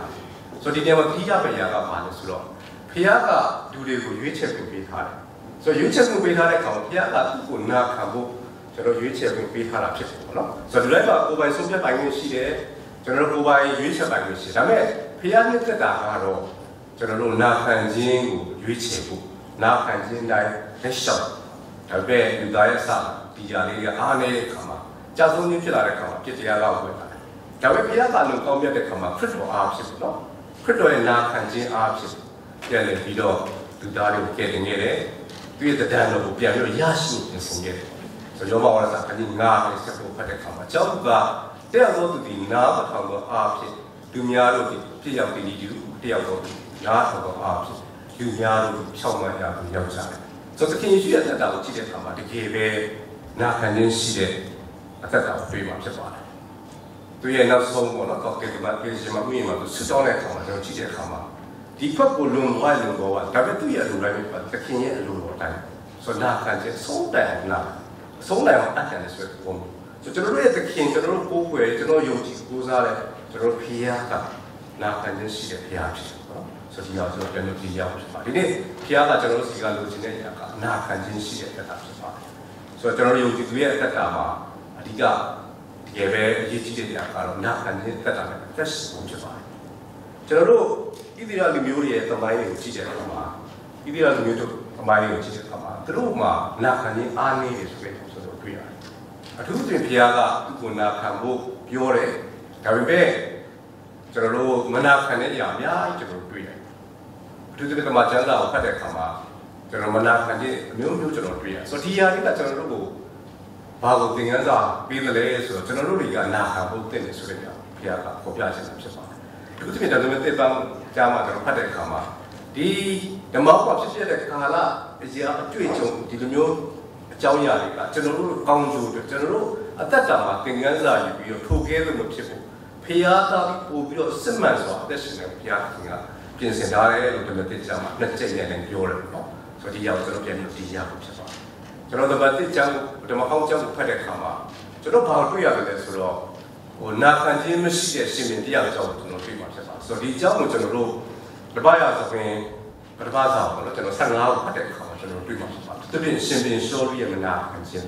ဆိုတော့ရှင်မင်းရှောရီမနာခံခြင်းကျွန်တော်အားလုံးတော့သိမယ်လို့ကျွန်တော်ယုံကြည်တယ်ကျွန်တော်ဖတ်ပြီးကြမှာဖြစ်ပါဆိုတော့အဲ့ဒီမှာသူ့အကြောင်းလေးကဘယ်လိုလဲဆိုတော့တတိဖျားခင်ကသူ့ကိုဒီအာမလက်လူမျိုးတွေဖြစ်စီဖို့ပေါ့နော်ကျွန်တော်မိန့်ပေးတယ် ဆိုတော့အဲ့ဒီခါမှာရှင်မင်းရှောရဲ့သူ့ရဲ့အဖွဲ့တွေကတွားပြီးတော့ဒီအာမလက်လူမျိုးတွေတိုက်ခိုက်တယ်ပေါ့နော်တိုက်ခိုက်ပြီးတော့ခါမှာဖျားကအားလုံးဖြစ်စီဖို့ပြောတယ်ပေါ့နော်ဘာမှပြန်လူတာလည်းလို့ဖျားကအမိန့်ဒါပေမဲ့သူကဘာလို့လဲဆိုတော့ရှောလူကဒီဟိုအမနဲ့ဘေးအကပ်တော့ကျွန်တော်အဲ့ခေါ်လာတယ်နောက်သူတို့စီမှာကောင်းတဲ့သုံးတော်သိစာအကောင်းလေးပေါ့နော်ပြန်ပြီးယူတာလေဆိုတဲ့ကျွန်တော်တွေ့မှာဖြစ်ပါတယ်အဲ့ဒါလည်းဘုရားခင်ကရှောသူကိုသာတော့ ရှုံရလာကိုလှလိုက်တယ်ပေါ့နော်ဆိုတော့ရှုံရလာသွားတဲ့အခါမှာသုံးတော်သိစာနဲ့ကြားတယ်အဲ့ကြားတယ်ဆိုတော့ရှုံရလာကလည်းရှင်မင်းရှောလူကိုမေးတယ်ဒါတွေကဘာဒီလဲပေါ့နော်ဆိုတော့ဆိုတော့ဒီသုံးတော်သိစာနဲ့ကြားတယ်ပေါ့နော်ဆိုတော့မင်းကအကလုံးဖြစ်စီကိုပြောတယ်မဟုတ်လားဆိုတဲ့အခါမှာရှင်မင်းရှောသူကသူတော့အကလုံးဘုရားရှင်စကားကိုနားခံပါတယ်ပေါ့နော်ဘုရားရှင်ပြောတယ်တွားလို့ပါတယ်ပေါ့ဒါပေမဲ့တော့အဲ့ဒီသုံးတော်သိစာနဲ့ပြန်ယူတာတဲ့ဟာကဖျားကိုပူဇော်ဖို့ဆိုတော့သူကအကြောင်းပြချက်နဲ့ယူယူတာဆိုတဲ့အောင်ကျွန်တော်တွေ့မှာဖြစ်ပါတယ် ဆိုတဲ့အခါမှာရှင်ဝေလာပြန်ပြီးတော့တီးပြီးတယ်ပေါ့နော်ဆိုရှင်ဝေလာကသာတော့ပြန်မိန်တော်ကိုနားထောင်ခြင်းနဲ့အားရလို့တကယ်လို့မိရှို့ရရစ်စရှိတော့ရစ်မျိုးတို့ကိုပူဇော်ခြင်းနဲ့အားရတော်မူတော့အလိုတော်တို့လိုက်ခြင်းဒီရစ်မျိုးတဲ့ခါရီကောင်းနားထောင်ခြင်းဒီတိုးရီစီတဲ့ကောင်းဆိုတော့အဲ့ကျမ်းစကားကတော့ဘုရားရဲ့အလိုလိုကိုလိုက်ခြင်းကအကောင်းဆုံးဘုရားကိုဒါခံခြင်းကအကောင်းဆုံးပဲဆိုတဲ့သဘောမျိုးဖြစ်တယ်ဆိုတော့ဒီနေရာမှာပြောချင်တဲ့ຢာက ဘုရားကိုရစ်ပူဇော်ခြင်းနဲ့ဘုရားရဲ့စကားကိုနာခံခြင်းကဘုရားအားဖြင့်နှစ်သက်တဲ့အရာဖြစ်တယ်ဘုရားရှိမှတာဝန်မှန်ကန်တဲ့အရာဖြစ်တယ်ဘုရားကိုနာခံခြင်းနဲ့ပေါ့ရစ်ရစ်ဟိုရစ်ကောင်းတွေကိုပေးခြင်းဘုရားကိုထူတန်းခြင်းကဘုရားကနာခံခြင်းကိုနှစ်သက်တဲ့ဆိုတဲ့အကြောင်းကျွန်တော်နားလည်ဆိုတော့ဒီနေ့ကျွန်တော်အသင်းတော်တွေမှာကျွန်တော်မြတ်ပောက်ကိကာလာအသင်းတော်တွေကျွန်တော်ပြန်လို့ပြောမယ်ဆိုတော့ဘုရားကိုထူတန်းခြင်းတဲ့ပေါ့နော်ဆိုတော့ဘုရားကကျွန်တော်တို့ရဲ့နာခံခြင်းကိုပို့ပြီးနှစ်သက်တဲ့ဆိုတဲ့အကြောင်းကျွန်တော်ပြန်ပြီးတတိယဖြစ်ပါတယ် ဆိုတော့နာခံခြင်းကအရာပဲအရေးကြီးတာဖြစ်ပါဒါကဘုရားသိကြလို့ရှိတဲ့အရာဖြစ်တယ်ဒါကြောင့်လူကြီးဘုရားရဲ့အသက်တာမှာကျွန်တော်တို့နာခံခြင်းတစ်ခေပဲရှိရမှာဖြစ်ပါတယ်ကျွန်တော်တို့ရှင်မင်းလျှောပြီးတဲ့သက်တာကိုကြည့်တဲ့အခါမှာသူရဲ့မနာခံခြင်းကြောင့်တော့ဆိုသူကရှင်မင်းရလို့ကျွန်တော်ဆွလို့ရတယ်သူရဲ့မျိုးဆက်တော့ကျွန်တော်မိဂုံမတာဘူးဆိုရင်ကျွန်တော်တွေ့မှာဖြစ်ပါတယ်ဆိုတော့ဒီနေ့ကျွန်တော်ဒီရအောင်ကျွန်တော်ပြန်စဉ်းစားဒီကျွန်တော်ရဲ့နာခံခြင်းကဘယ်အတိုင်းအတာရှိနေတယ်ကျွန်တော်ဖះကျွန်တော်တကယ်နာခံနေသလားနော် ဆိုဖះနဲ့တွေ့ပြီးတော့ချက်ကြီးပဲနာခံနေသလားဆိုဒီအောင်ကျွန်တော်ပြန်ပြီးတော့စဉ်းစားမှာဖြစ်ပါတယ်ဆိုတော့တို့တက်တာတကယ်အားနေနေပြန်ပြင်ဆင်ဖို့လည်းဖြစ်ပါဘုရားခင်ရဲ့ကောင်းမြတ်ပြီးတော့ကျွန်တော်ပြင်ဆင်တဲ့ဖွင့်ပေးတဲ့အခါကျွန်တော်တကယ်ပဲတာပြီးကောင်းတဲ့ရအောင်ကျွန်တော်ဆက်ပြီးတော့လုပ်ဆောင်ဖြစ်ပါတယ်ဆိုတော့ခုနကကျွန်တော်တို့ရှင်ရှင်ရှောပြီးဖြစ်တဲ့ကိုကြည့်တဲ့အခါမှာတကယ်ပဲဘုရားရဲ့လူမျိုးတော့ဘုရားယူတော့ဘုရားပိတ်ပိတ်ပေးတဲ့လူကဒါခံနေအားနေဆိုတဲ့အကြောင်းကျွန်တော်တွေ့ရတယ်ဆိုဒီကြတဲ့ဘုရားကျတော့တမန်တော်တော်လိလာတဲ့အခါဘာကိုဆက်တွေ့ရလဲဆိုတော့ ဘုရားလူတွေကဒါခံနေအားနေတဲ့ဘုရားကမိလိုက်တယ်နော်ဆိုတဲ့အကြောင်းကျွန်တော်တွေ့ရတယ်ဆိုတော့ဒီကြောင့်ကျွန်တော်တို့ယေရမိအနာပရိစ္ဆာခန်းကြီးနှစ်ငယ်ကိုလည်းမှာတွေ့ရတယ်အပြုံမသည်မိမိမိမိနဲ့ရှင်တော်တစားကို၎င်းမင်္ဂလာတော်တိပိတိမိမိကပန်းကို၎င်းမိလျော်နေတယ်လို့သို့ပေါ်တဲ့ငါဤလူတို့ဒီမရေတွက်တယ်များစွာသောကာလတော်ငါ့ကိုပြီးလျော်တယ်ဆိုဘုရားကိုနာခံတဲ့မိသွားလောဘဆုံးလို့သွားတဲ့အနေထားမျိုးဖြစ်တယ်ပေါ့နော်အဲ့ဒီ မရေတွက်နိုင်အောင်မိဆိုတော့အဲ့ဒီယေရမိအနာကတိကျမ်းနှစ်ကိုဖတ်တဲ့အခါမှာဒီဣတိယလူမျိုးတွေလုပ်တဲ့အဖြစ်လေးဘုရားခင်ပေါ်ပြတယ်အဲ့ဒီမှာပြောရရတာပါလဲဆိုတော့ပယောဖက်တွေကလည်းကျွန်တော်တို့မှန်တဲ့ຢာမလုပ်ဘူးပေါ့နော်ဘုရားကိုမေးသွားတယ်ဒီပယောဟိတ်တွေကစားတော့ဘာလားပယောဖက်တွေကဘာလားဘုရားကိုကိုးကွယ်တဲ့အားမျိုးဖြစ်ကုန်အသင်းတွေကလည်းမနာဘုရားကိုဘုရားပဲမဆဲတော့နော်ကြက်ကြက်ပုဂ္ဂိုလ်တွေကလည်းလမ်းလွဲသွားဆိုတော့လူလိုက်ကဘုရားကိုမေးဆိုတော့ ကျွန်တော်တို့ဘာသာရေးမှာခေါင်းဆောင်တွေဖြစ်တဲ့လူတွေတောင်မေးဆိုတော့ကျွန်တော်တို့ဣတိယလူမျိုးတွေကမေးပေါ့ဒါလေးဟိုဖြစ်เสียအကြောင်းရှိတယ်ဆိုတော့ဒီနေရာမှာပြန်လို့တတိချက်မယ်ရတာပါလဲဆိုတော့ကျွန်တော်ဘုရားကိုမေးဖို့လိုပါပါတခါတည်းနားထောင်ခြင်းအားနေသွားတခါနောက်ဆုံးတဲ့ဘုရားကမေးသွားတဲ့အသက်တာမျိုးပါဖြစ်သွားတယ်ပေါ့နော်ဆိုတော့ဒီအောင်ကျွန်တော်တို့ပြန်ပြီးတော့တတိယလို့ဖြစ်သွားတယ်ကျွန်တော်တို့ဣတိယလူမျိုးတွေဘုရားရှင်ကိုဘာကြောင့်မနာခံနိုင်ကြလဲလို့စဉ်းစားတယ်အတိကတမန်ကျမ်းစာကပေါ်ပြရတဲ့ကခို င်မာတဲ့စိတ်ကိုရှိတော့ကြောင့်လေပင်ခိုင်မာတော့ကြောင့်ခေါင်းမာတော့ကြောင့်ပေါ့ဆိုဒီအောင်ကျွန်တော်တို့အကျင့်ချင်းကျွန်တော်တို့ပေါ်ပြတွေ့မှာဖြစ်ပါတယ်သူပြင်ပြ3နဲ့4ကိုဖတ်တဲ့အခါမှာဒီကြောင့်တော့3ချိန်နဲ့ကျွန်တော်တို့ပေါ်ပြတယ်ထို့ကြောင့်တရှင်တော်ဝိညာဉ်တော်မိန်တော်မူဒီကယနေ့တွင်သင်တို့သည်ဗျာဒိတ်တော်တန်ကိုကြားတဲ့ရှိပြီးဖြစ်ခိုင်မာသောစိတ်နှလုံးမရှိကြနှင့်သင်တို့ဘာဒီ40ပတ်လုံးငါ့ကိုအနည်းဆုံးစမ်း၍ငါဒီခုလိုကိုမြင်ရသောတော်တော်တွေ ငါ့ကိုဆန့်ကျင်တဲ့ဖြစ်၍စုံစမ်းရကာလလည်းရှိတကယ်မရှိစေကြနှင့်ဆိုတော့ဒါကဒီနေ့ဘုရားကဗျာဒိတ်ကံကြားနေရဗျာဒိတ်ပြီးတဲ့အတန်စကားပြောနေဆိုတော့ကျွန်တော်တို့လည်းလည်းမခိုင်ပါဘူးเนาะကျွန်တော်တို့တတိပေးတာဖြစ်ပါတယ်ဆိုတော့ဒီအကြောင်းကို၃ချိန်နဲ့ကျွန်တော်တို့တတိပေးတာဖြစ်တယ်ဆိုတော့ဒီကျွန်တော်တို့ယူပြီးတဲ့သက်တာမှာဝိညာဉ်တော်ဘုရားကလမ်းပြရတယ်ကျွန်တော်တို့ပေါ်ပြရကြရရှိတယ်ရှင်ထဲမှာလုကတော့အာဖတ်ရှိကြရတဲ့ဘုရားကကျွန်တော်တို့ကိုလမ်းပြရတယ်ပြောနေနေတာရှိကျွန်တော်နာခံဖို့ပြန်ရည်ကြည့်ပါ ကျွန်တော်ခေါက်ပါမယ်လေပင်ခိုင်ပါမယ်စိတ်လုံးထဲမှာကျွန်တော်တို့ခိုင်ပါတဲ့စိတ်မျိုးရှိရဆိုပြီးတော့ကျွန်တော်နာခံခြင်းကိုကျွန်တော်တို့ဆောင်မှာမဟုတ်ပါဘူးဆိုတော့နာခံခြင်းမရှိတဲ့အခါမှာကျွန်တော်တို့ရဲ့သက်တာအဆုံးရှုံးခြင်းကိုကျွန်တော်တို့ရရှိမှာဖြစ်ပါတယ်ဓမ္မကျမ်းစာကတိကျပြောပါတယ်ဆိုတော့ဒါခဏရှိတော့ဘုရားကကောင်းကြီးပေးနိုင်မှာဖြစ်တယ်နော်ဆိုတော့ဒီကြောင့်ကျွန်တော်ပြန်ပြီးတော့နှလုံးသွင်းဖို့ဖြစ်ပါတယ်ကျွန်တော်ဓမ္မကျမ်းစာလေ့လာတဲ့အခါမှာနာခဏရှိတဲ့ပုံစံတွေအများကြီးရှိတယ်အဲ့ဒီမှာလည်းထူးခြားတာအာပြန်ကလည်းဒီလည်းထူးခြားတဲ့ပုံစံတယောက်ကိုကျွန်တော်တွေ့ရတယ်အ ထူးသဖြင့်ကဘာကျမ်းစနစ်ကိုကျွန်တော်တို့ဖတ်တဲ့အခါမှာဘုရားကအာပြန်ကိုခေါ်တယ်ပေါ့နော်ခေါ်ပြီးတော့ကျွန်တော်တို့ခါတယ်ကိုတော့ပြောတဲ့အခါမှာအာပြန်ကလည်းဘုရားပြောတဲ့အခါပြောပေါ်ရတယ်နော်ဆိုတော့အဲ့ဒါကအင်မတန်မှထူးခြားတဲ့အာပြန်ရဲ့အရေးပေးပေးဖြစ်တယ်ဆိုတော့သူကယုံကြည်ခြင်းရှိတယ်နာခံခြင်းရှိဆိုတော့ဒီနေ့ယုံကြည်ခြင်းနဲ့နာခံခြင်းကတွဲတယ်ဆိုတော့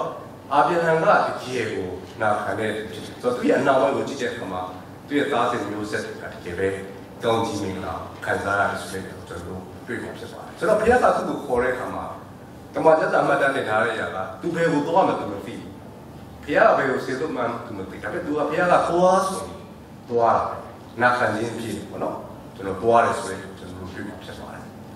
ဆက်လက်ပြီးတော့အာဗျာဟံကိုဘုရားကထပ်ပြီးပြောရရရှိသေးတယ်အထူးသဖြင့်သူ့သားကိုရစ်ပြူဆုံးပြောတဲ့အခါမှာအထူးသဖြင့်ကောင်ကျန်တဲ့ဆက်နှစ်ကိုကျွန်တော်ဖတ်တဲ့အခါမှာဒီအကြောင်းကိုတွေ့မှာဖြစ်ပါတယ်ဆိုဘုရားကဒီနေ့သူ့သားကိုပူဇော်ဖို့ပြောတယ် သူကိုဒီမော်ရီကြီးကိုသွားပြီးမော်ရီကြီးမှာရှိတဲ့တောက်တောင်းတော့သူ့ရဲ့တောက်ပူဇော်ပြောတဲ့အခါမှာအာဗျာလည်းနောက်နေပေါ့နော်ကျွန်တော်တို့ချင်းနေမြဲလေးနဲ့သူသားလည်းသူ့ရဲ့မြဲသားနဲ့ခတ်သွားတယ်ဆိုတော့ကျွန်တော်တွေ့မှာဖြစ်ပါတယ်ဆိုတော့ဒီအကြောင်းကိုကျွန်တော်တို့ကဘာဘူးကြာကျွန်တော်တို့20နဲ့အငယ်သုံးပါကျွန်တော်ဖတ်ကျွန်တော်တွေ့မှာဖြစ်ပါတယ်ဆိုတော့ဒီနေ့အာဗျာရဲ့နာခံမျိုးလည်းကျွန်တော်ဆက်ပြီးတော့အတူယူဖြစ်ပါတယ်ကျွန်တော်အာဗျာယုံကြည်ခြင်းကိုအတူယူတည်တာမကတော့သူ့ရဲ့နာခံခြင်းဘုရားကပြောရင်ပြော ပြောလိုက်ဖြစ်မယ်ဆိုတဲ့အရာကိုယုံကြည်နိုင်တာမကဘုရားကကျွန်တော်ဘာလုပ်စေချင်တယ်လဲဘာကိုလုပ်စေချင်တယ်လဲပေါ့နော်ဆိုတော့ဘယ်ကိုသွားစေချင်တယ်လဲဘာဖြစ်စေချင်တယ်လဲဆိုတော့ဒီအရာကိုကျွန်တော်နာခံကြည့်တဲ့ကျွန်တော်တို့လုပ်ဆောင်မှုဖြစ်ပါတယ်ဆိုတော့အဗျာဟံကနာခံကြည့်လုပ်ဆောင်တဲ့အခါမှာသူကိုယ့်အသက်ကအမြဲတမ်းအောင်နော်ဆိုတော့ဒီအရာကိုကျွန်တော်တို့ပြရမှာဖြစ်ပါတယ်ဆိုတော့အဗျာဟံကြောင့်ကျွန်တော်အထူးဖြစ်ကျွန်တော်တို့ပြောစရာတော့မရှိတော့ဒါပေမဲ့သူ့စီမှာတော့တကယ်ပဲသင်မှုသင်စရာအများကြီးရှိရဆိုရကျွန်တော်ပြန်လုံးသင်ဖြစ်ပါတယ်ဆိုတော့ဒီနေ့နာခံခြင်းလို့ပြောတဲ့အခါမှာ ဖျားတဲ့တပြည့်ပြည့်ချက်တွေကိုကျွန်တော်တို့နာခံဖို့ဖြစ်တယ်ပေါ့နော်ဆိုတော့ဒီအရာကျွန်တော်ပြန်လို့ဒီအရာကိုဖြစ်ပါတယ်ကျွန်တော်တို့နှုတ်ပတ်တော်ပြီးထားတဲ့ຢာကပြည့်ပြည့်ချက်တွေကိုကျွန်တော်တို့သိဖို့ဖြစ်ပါတယ်ဆိုတော့ဒီနေ့ဖျားနဲ့ပြည့်နှုတ်ပတ်တော်ကိုကျွန်တော်နာခံပြီးတော့ကျွန်တော်တက်ရှင်ဖြစ်ပါတယ်ဆာလန်တရားဆက်ကိုကတော့ကျွန်တော်နှုတ်ပတ်တော်တိုင်းအသက်ရှင်စေပါလို့တော့ဆာလန်ဆရာကတော့ပြောထားတယ်ပေါ့နော်နှုတ်ပတ်တော်တိုင်းအသက်ရှင်ဖို့ကသူကဆန္ဒရှိတယ်ဆိုတော့ဒီနေ့ကျွန်တော်တမန်တယောက်စီတိုင်းကလည်းနှုတ်ပတ်တော်တိုင်းအသက်ရှင်ဖို့အများကြီးကြီးတယ် နှုတ်ပတ်တော်တိုင်းအသက်ရှင်ပြီဆိုရင်ကျွန်တော်တို့ကဒီကေပဲနာခံခြင်းရှိတဲ့သူတွေဖြစ်မှာဖြစ်ပါတယ်ကျွန်တော်လည်းဒီနေ့ကျမ်းပိုင်းနှစ်ပိုက်တော့ပြန်ပြီးတော့ဒီနာခံခြင်းနဲ့ပတ်သက်ပြီးတော့ပေါ်ပြခြင်းတဲ့ကျမ်းပိုင်းနှစ်ပိုက်ရှိသူတကယ်ကျွန်တော်တို့အသက်ရှင်မှုနဲ့လိုက်ရှောက်မှုတက်ပါတယ်ဆိုတော့ချက်ကတော့ဝိခါနာကတိကျန်6အငယ်8မှာအချင်းလူကောင်းသောလမ်းပြလို့တရားသင်ပြုခြင်းကရုဏာကိုနှစ်သက်ခြင်းတင်းဖျားခြင်းရှိတော်တဲ့နှိမ့်ချသောစိတ်နဲ့ကျင့်နေခြင်းမှတပါ အဘယ်ပူဇော်တကားကိုထာဝရဘုရားတောင်းတည်းဆိုတော့အဲ့ဒီကျမ်းမရဲ့ရှေ့မှာကျွန်တော်တို့ဒီဣသရေလလူမျိုးတွေကသူတို့တွေကသူသားပူဇော်မယ်ဆိုရင်ပူဇော်လို့ရတယ်ပေါ့နော်ဆိုပူဇော်အဲ့ဒီကာလကဘုရားရှင်ကောင်းသောပြေဖို့သူကဘုရားရှင်မေးတာပေါ့နော်ဆိုတော့အဲ့ခါမှာမိခါရဲ့ရှေ့မှာကြည့်တဲ့အခါမှာဣသရေလလူမျိုးတွေရဲ့မှားယွင်းနေအများကြီးဆိုတော့သူတို့ကဘုရားခင်ကိုပူဇော်အကောင်းဆုံးပေးဖို့သူတို့နှလုံးသားထဲမှာဖြစ်တဲ့အခါမှာသူကဒါကိုပြောတာဆိုတော့အဲ့ခါမှာ ဘုရားခင်ကကျွန်တော်တို့ပြန်ပြီးတော့ပြောတဲ့သဘောမျိုးပေါ့နော်ဘုရားခင်စီကအဖြေရတဲ့သဘောမျိုးပါတော့ခုနပြောသလိုတရားသဖြင့်ပြုခြင်းဒုနာကိုနှစ်သက်ခြင်းနဲ့ဘုရားရှင်ရှိကိစ္စတော့စိတ်နဲ့ကျင့်နေခြင်းမှာတပါးပေါ့ဆိုတော့ဒီဟာကိုဘုရားခင်ကအလိုရှိဆုံးဖြစ်တယ်ဆိုတော့ဒီနေ့ကျွန်တော်တို့ရဲ့အသက်တာကိုပြန်ပြီးတော့စဉ်းစားဖို့ဖြစ်တယ်ဆိုတော့ကျွန်တော်တို့ဒီနေ့တရားမျှတာခြင်းရှိသလားပေါ့ဆိုတော့ဒီအောင်ကျွန်တော်ပြန်ပြီးတော့စဉ်းစားဖို့ဖြစ်တယ်ဆိုတော့ကျွန်တော်တို့ဘာမှပြည်ရဲ့အတိုင်းဝန်းကိုကြည့်တဲ့အခါဒီနေ့တရားမျှတမှုမရှိတော့ကြောင့်တရားတဲ့အရာတွေဖြစ်တော့ကြောင့်နော် ကျွန်တော်တို့ကက်ခဲမှုများအကြီးကျွန်တော်တို့တွေ့ရတယ်အထူးသဖြင့်အဲ့ဒီအရာတွေကလည်းကျွန်တော်ယုံကြည်သူရဲ့အသက်တာထဲမှာလည်းကျွန်တော်တို့ရိုက်ခတ်မှုအများကြီးရှိအထူးသဖြင့်ကျွန်တော်တို့အသင်းတော်တချို့မှာကျွန်တော်တို့ဘာတွေ့ရလဲဆိုတော့အသင်းတော်ထဲမှာ agent တွေရှိတယ်ပေါ့နော်ဆိုတော့လူပွဲစားတွေရှိတယ်လူတွေကိုကုန်ကူတဲ့တွေရှိတယ်ဆိုတော့တစ်ခါတစ်ခါဟိုအကျိုးဆောင်ဆိုတော့ဘာလို့ပြောရအလားပြောကျိုးဆောင်ဒါပေမဲ့ကျိုးဆောင်တွေအမျက်ထုတ်တယ်တော်တော်လေးကအမျက်ထုတ်တယ်ဆိုတော့ဒီဟာတွေပြန်စဉ်းစားတဲ့အခါ မတရားတွေတင်တော်တွေမှာရှိတယ်ပေါ့နော်ဆိုတော့အဲ့ဒါကျွန်တော်တွေ့ရတယ်ကျွန်တော်တို့တစ်ခါတစ်ခါကျွန်တော်တို့ဘာကြားရတယ်လဲဆိုတော့ဒီလူတယောက်ကသူဘာဘာစင်းမရှိလို့ပေါ့နော်ငွေလက်ခံပေးဖို့သူကအကူအညီတောင်းတာကောင်းတာကိုသူက commission ပေးရဆိုတော့ကျွန်တော်တို့ဒီကိုစစ်ဖြစ်ကာသာလူမျိုးပေါ့ဒီမှာအားရတိုင်းလို့ဘာ900ခိုင်လို့ပေးရတဲ့ဘောမျိုးဆိုရရရှိတယ်ဆိုတော့ဒါပြမအတိုင်းဝင်ထဲမှာအထူးသဖြင့်ယုံကြည်အတိုင်းဝင်ထဲမှာဒါလည်းတွေ့ရတယ်ဆိုတော့ဒီဟာတွေကတရားတဲ့ညာဖြစ်ရတာဆိုတော့ ကျွန်တော်အနေနဲ့ပြန်ပြီးတော့အားပေးခြင်းတဲ့တခါတခါကျွန်တော်တို့လှုပ်ဆောင်နေပါတယ်ဒီကျိုးဆောင်လို့ဒါပေမဲ့တင့်တော်တဲ့ပတ်တဲ့ခါကြည့်လို့ဆိုတော့အဆင်ပြေတာပေါ့ဒါပေမဲ့တခါတခါ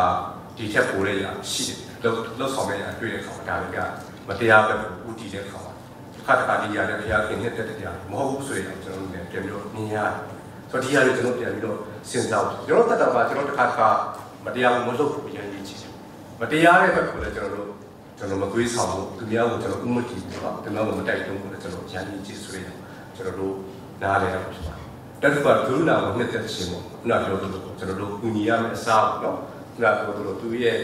ကိုယ့်ရဲ့ရှိနေတဲ့အနေထားပေါ်မှာသူ့ကိုအမြတ်ထုတ်လိုက်တာပေါ့ကိုကဘန်ခောက်ရှိတဲ့အခါသူမရှိတဲ့အခါမှာသူပတ်ဆောင်ကျွန်တော်က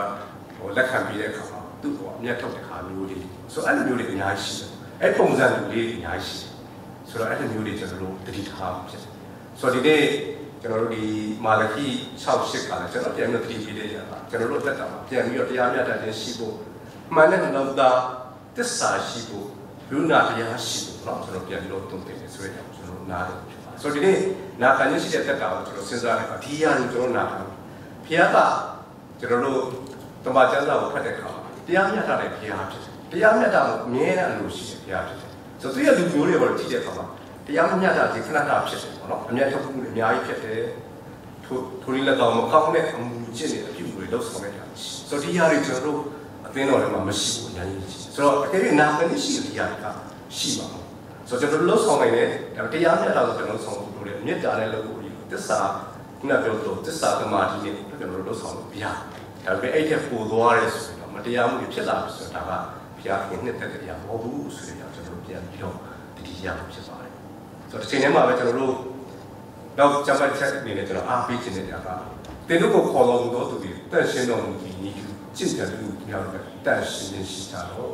အကြောင်းမူကားငါသည်တန်ရှင်းတော်မူသောကြောင့်တင်တို့ဒီလည်းတန်ရှင်းခြင်းရှိကြတော့ကြာစားတာဒီဆိုတာကဖျားခင်လို့ရှိတဲ့နောက်တစ်ခုပေါ့ကျွန်တော်အရေးချင်းတစ်ခုဖြစ်တယ်ဆိုတော့ဖျားခင်ကကျွန်တော်တို့ရွေးကောက်တဲ့အခါမှာတန်ရှင်းသူတွေနဲ့ရွေးကောက်တာဖြစ်တယ် ဆိုတော့ခရစ်တော်ကိုယူတင်ဖို့ဆောင်တဲ့နေ့ကစပြီးတော့ယုံကြည်တဲ့လက်ခံတဲ့နေ့ကစကျွန်တော်တို့ကအပြည့်အဝတန်ရှင်းသူဖြစ်ပြီးသားဖြစ်တယ်ဆိုတော့ကောင်းကင်မှာကျွန်တော်ပြောမယ်ဆိုကောင်းကင်ဒါနော်ဆိုတော့ဖျားနဲ့ဒန်းတူအနေထားမျိုးကျွန်တော်ရှိပါတယ်ဆိုတော့ကောင်းကင်တမန်နဲ့ကျွန်တော်မြင်တယ်ဖျားနဲ့ဒန်းတူတန်ရှင်းသူဖြစ်တယ်ဆိုတော့ဒီဟာကကျွန်တော်တို့ရဲ့ဖြစ်စဉ်ဖြစ်တယ်ကျွန်တော်တို့ကိုဖျားခင်ဖြစ်စေတဲ့ကျွန်တော်တို့အသက်တာမျိုးဖြစ်တယ်ဆိုတော့အဲ့ဒီအောင်ကျွန်တော်ပြန်လို့ဒီရောက်အဲ့ကြောင့်မလို့ဘုရားခင်ကသူတန်ရှင်းတကယ်ကျွန်တော်တို့ရဆက်ရှင်းသူဖြစ်ရွေးကောက်ထားပြီး တန်ရှင်းသူဖြစ်ခြင်းဆိုတဲ့အရာကကျွန်တော်တို့ရဲ့အသက်တာဖြစ်တဲ့အခါမှာ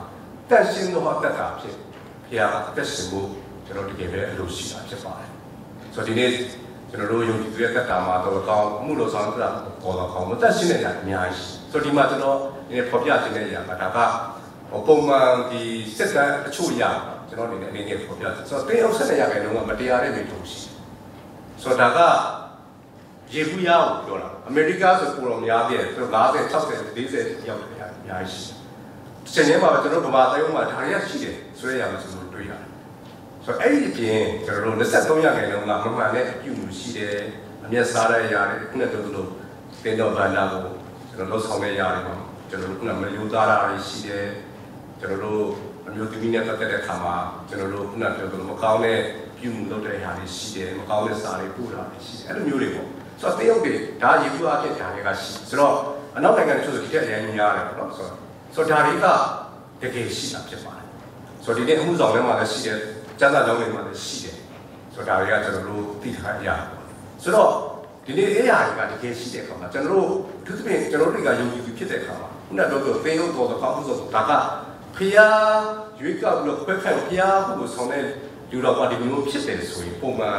ကျွန်တော်တို့ယုံကြည်သူတယောက်ကိုပို့ပြီးတော့ကျွန်တော်တို့ဖြစ်နေပုံများတယ်ပေါ့နော်ဆိုတော့အဲ့ဒီအရာကိုကျွန်တော်ပြန်ပြီးတော့တတိချက်ဖို့ဖြစ်ပါတယ်ဆိုတော့တစ်ခါတစ်ခါကျွန်တော်တို့ဖျားခင်ကတက်ရှင်တော့တက်တာနဲ့တကယ်ပဲတက်ရှင်စစ်နေတာဖြစ်ပါတယ်ကျွန်တော်တို့အပြုမှုစိတ်နှလုံးသားပါအစလှုပ်ဆောင်ရည်ရတယ်ဥမာလှုပ်ဆောင်ရတာဒါရပါနော်ကျွန်တော်ပေရှိစွာဖြစ်တက်ရှင်စွာဖြစ်ဖျားခင်ကကျွန်တော်တို့တကယ်ဖြစ်စေချင်တာဖြစ်ပါတယ်တကယ်ကျွန်တော်လာခင်းရှိရတက်တာတကယ်ပဲတက်ရှင်ဆိုပြီးတက်ရှင်နဲ့တက်တာနဲ့ကျွန်တော်တို့တကယ်ပဲအသက်ရှင်မှာဖြစ်ပါတယ် ကျွန်တော်ကတော့ကျွန်တော်ဖတ်တဲ့အခါမှာတခြားအချက်တွေအများကြီးရှိပါသေးတယ်သူတပည့်နံပါတ်1ကိုကျွန်တော်တို့ဖတ်တဲ့အခါမှာလက်တာရမယ့်ရာရှောင်ရမယ့်ရာအချက်တွေကျွန်တော်ကြည့်တဲ့အခါမှာ1050လောက်ရှိတယ်ပေါ့နော်ဆိုတော့ဘာကောင်းမှတော့63ကျက်လောက်ရှိတာဆိုမများများတယ်ပေါ့ဒါပေမဲ့အဲ့ဒီအရာရဲ့အနှစ်ချုပ်ကတော့ကျွန်တော်တို့ဒီကယ်ပဲချစ်ချင်းမြတ်တာတကယ်ပဲရှိတယ်ဖခင်ရဲ့ချစ်ချင်းမြတ်တာတကယ်ပဲရှိတယ်ဆိုရင်တော့တကယ်ပဲဒီကျင့်တရားလို့ဆိုမှအားလုံးပြည့်စုံနေတဲ့အခုဘုရားကိုပေးထားတယ်ဒါ ကြောင့်ဒီနေ့ကျွန်တော်တို့အသက်တာထဲမှာဒုတိယချက်ဖြစ်တဲ့နာခံရရှိတဲ့အသက်တာနဲ့ကျွန်တော်ဆက်ပြီးတော့ပြည့်စုံမှုဖြစ်တယ်နောက်ဆုံးတတိယချက်အနေနဲ့ပေါ့ကျွန်တော်တို့အားပေးခြင်းတဲ့အရာကတော့ချစ်ချင်းမြတ်တာရှိသောအသက်တာဖြစ်ပါတယ်ချစ်ချင်းမြတ်တာရှိသောအသက်တာဖြစ်ပါတယ်ဆိုတော့ဒီຢာကတကယ်ပဲအရေးကြီးတာဖြစ်တယ်ပေါ့နော်ဆိုတော့ကျွန်တော်တို့ယုံကြည်သူတွေရဲ့ trademark လို့ပြောရင်ဒါချစ်ချင်းမြတ်တာပဲအထူးသဖြင့်ခရရိယာတိုင်းဝမှာအများနဲ့ပြောတယ်တခြားဘာသာတွေလိုက်ကြတာချစ်ချင်းမြတ်တာသိပြောတာမရှိဘူးသူတ ည်းဖျားသားပြီးမျိုးပဲပြောတာတခြားဘာသာတွေကြည့်တဲ့အခါလေ့လာအဲ့လိုမျိုးသိမျိုးတွေ့ဆိုကျွန်တော်တို့ကိုဖျားကဒီခေပဲချစ်ချင်းမြတ်တာလည်းပြည့်စုံဖျားကရွေးကောက်ထားတာဖြစ်ပါတယ်ကျွန်တော်တို့တကယ်တော့ချစ်ချင်းမြတ်တာသက်ရှင်တဲ့ဘုရားကပြင်ဆင်ပေးတယ်ဆိုရင်ကျွန်တော်တို့ပြန်ပြီးတော့နှလုံးသွင်းဖြစ်ပါတယ်ခရစ်တော်ကိုယ်တိုင်ကချစ်ချင်းမြတ်တာရှင်ဖြစ်တယ်ဘုရားခင်ကိုယ်တော်တိုင်ကချစ်ချင်းမြတ်တာဘုရားဖြစ်တယ်ပေါ့နော်ဆိုတော့ကျွန်တော်တို့အားလုံးတည်တည်တာဖြစ်တယ်သူကျွန်တော်တို့ကိုချစ်တော်ကြောင့် ကျွန်တော်တို့ကိုရွေးနှုတ်ခဲ့တဲ့ခြင်းဖြစ်ပါတယ်ဒါကြောင့်သူရဲ့ချစ်ချင်းမြတ်တာနဲ့ကျွန်တော်တို့ကအသက်ရှင်ဖို့ဖြစ်ပါတယ်ဆိုတော့ကျွန်တော်တို့တယောက်စီတိုင်းကခရစ်တော်ကိုယူတင်ဖို့ဆောင်တဲ့နေ့ကစပြီးတော့ခရစ်တော်တည်တည်လေးတွေဖြစ်ခရစ်တော်နောက်လိုက်တွေဖြစ်တဲ့အခါမှာခရစ်တော်ရဲ့ခြေရာကိုတိုင်းခရစ်တော်ကအလိုရှိတာဖြစ်တယ်ဘုရားသခင်ကအလိုရှိတာဖြစ်ပါတယ်ဒါကြောင့်ကျွန်တော်တို့ချစ်ချင်းမြတ်တာနဲ့တကယ်ပဲပြည့်စုံရမှာဖြစ်ပါတယ်ကျွန်တော်တို့ကြောက်ကြကြခန်းကြီး73နဲ့30လေးကိုဖတ်တဲ့အခါမှာသင်တို့ဒီအချင်းချင်းတရားကိုတရားချစ်ကြငါဒီ သင်တို့ကိုချစ်ပြီးဒီကိုချစ်ပြီးချစ်ကြတော့ပညာတစ်ခုမှာပြီးဆိုတော့ဒါကသခင်ယေရှုပြောခြင်းတဲ့တစ်ခုဒီတော့ပညာတစ်ပေါ့နော်ဆိုတော့အဓိကကတော့ခုနပြောသလိုဖះကိုချစ်သူကိုချစ်ဆိုတဲ့အရာဖြစ်ဖြစ်ပါဒါပေမဲ့ရှင်ယောဟန်ကခရစ်တော်ဖះကိုမှတ်တတ်တဲ့အခါမှာခရစ်တော်ဖះဒီပညာတစ်ကိုပေးတယ်ဆိုတဲ့အကြောင်းမှတ်တတ်တဲ့အခါဆိုတော့ဒီနေရာမှာကျွန်တော်ဒီမှာတရားစီတိုင်းကအချင်းချင်းချစ်ရဖြစ်ပါတယ်။ဘာကြောင့်လဲဆိုတော့ဖះကိုခရစ်တော်ကကျွန်တော်တို့ကိုချစ်စေခဲ့တယ်ပေါ့နော်။ အချင်းချင်းချစ်တာဒီဟာဖះကအလိုရှိတာဖြစ်ပါတယ်။ဆိုတော့ဒီချစ်တဲ့အခါမှာငါဒီတင့်ကိုချစ်စဉ်ကြီးတူဆိုတဲ့အရာမှာသူ့ရဲ့တမန်ကျတော့သုံးတဲ့အရာကဖះမြတ်တာနဲ့ချစ်ခြင်းခရစ်တော်ရဲ့မြတ်တာနဲ့ချစ်ခြင်းခရစ်တော်မြတ်တာကကျွန်တော်တို့ကိုပေးပြီးသားဖြစ်တဲ့အခါအဲ့မြတ်တာနဲ့ကျွန်တော်တယောက်စီတည်းကိုအချင်းချင်းချစ်ဖို့ပြောတာဖြစ်ပါတယ်ဆိုတော့ရိုးရိုးကျွန်တော်တို့နားလဲတဲ့လူသားရဲ့မြတ်တာအသက်ရှိတဲ့မြတ်တာမျိုးမဟုတ်ဆိုတော့ဒီရောက်ကျွန်တော်ပြန်ပြီးတော့နားလဲဖြစ်ပါဆိုတော့ဒီနေ့ အသိတော်ထဲမှာတစ်ခါတစ်ခါကျွန်တော်တို့အခက်အခဲဖြစ်ရခြင်းကတစ်ခါတစ်ခါလူသားဆက်တဲ့မြတ်တာနဲ့ချစ်မိတဲ့အခါမှာ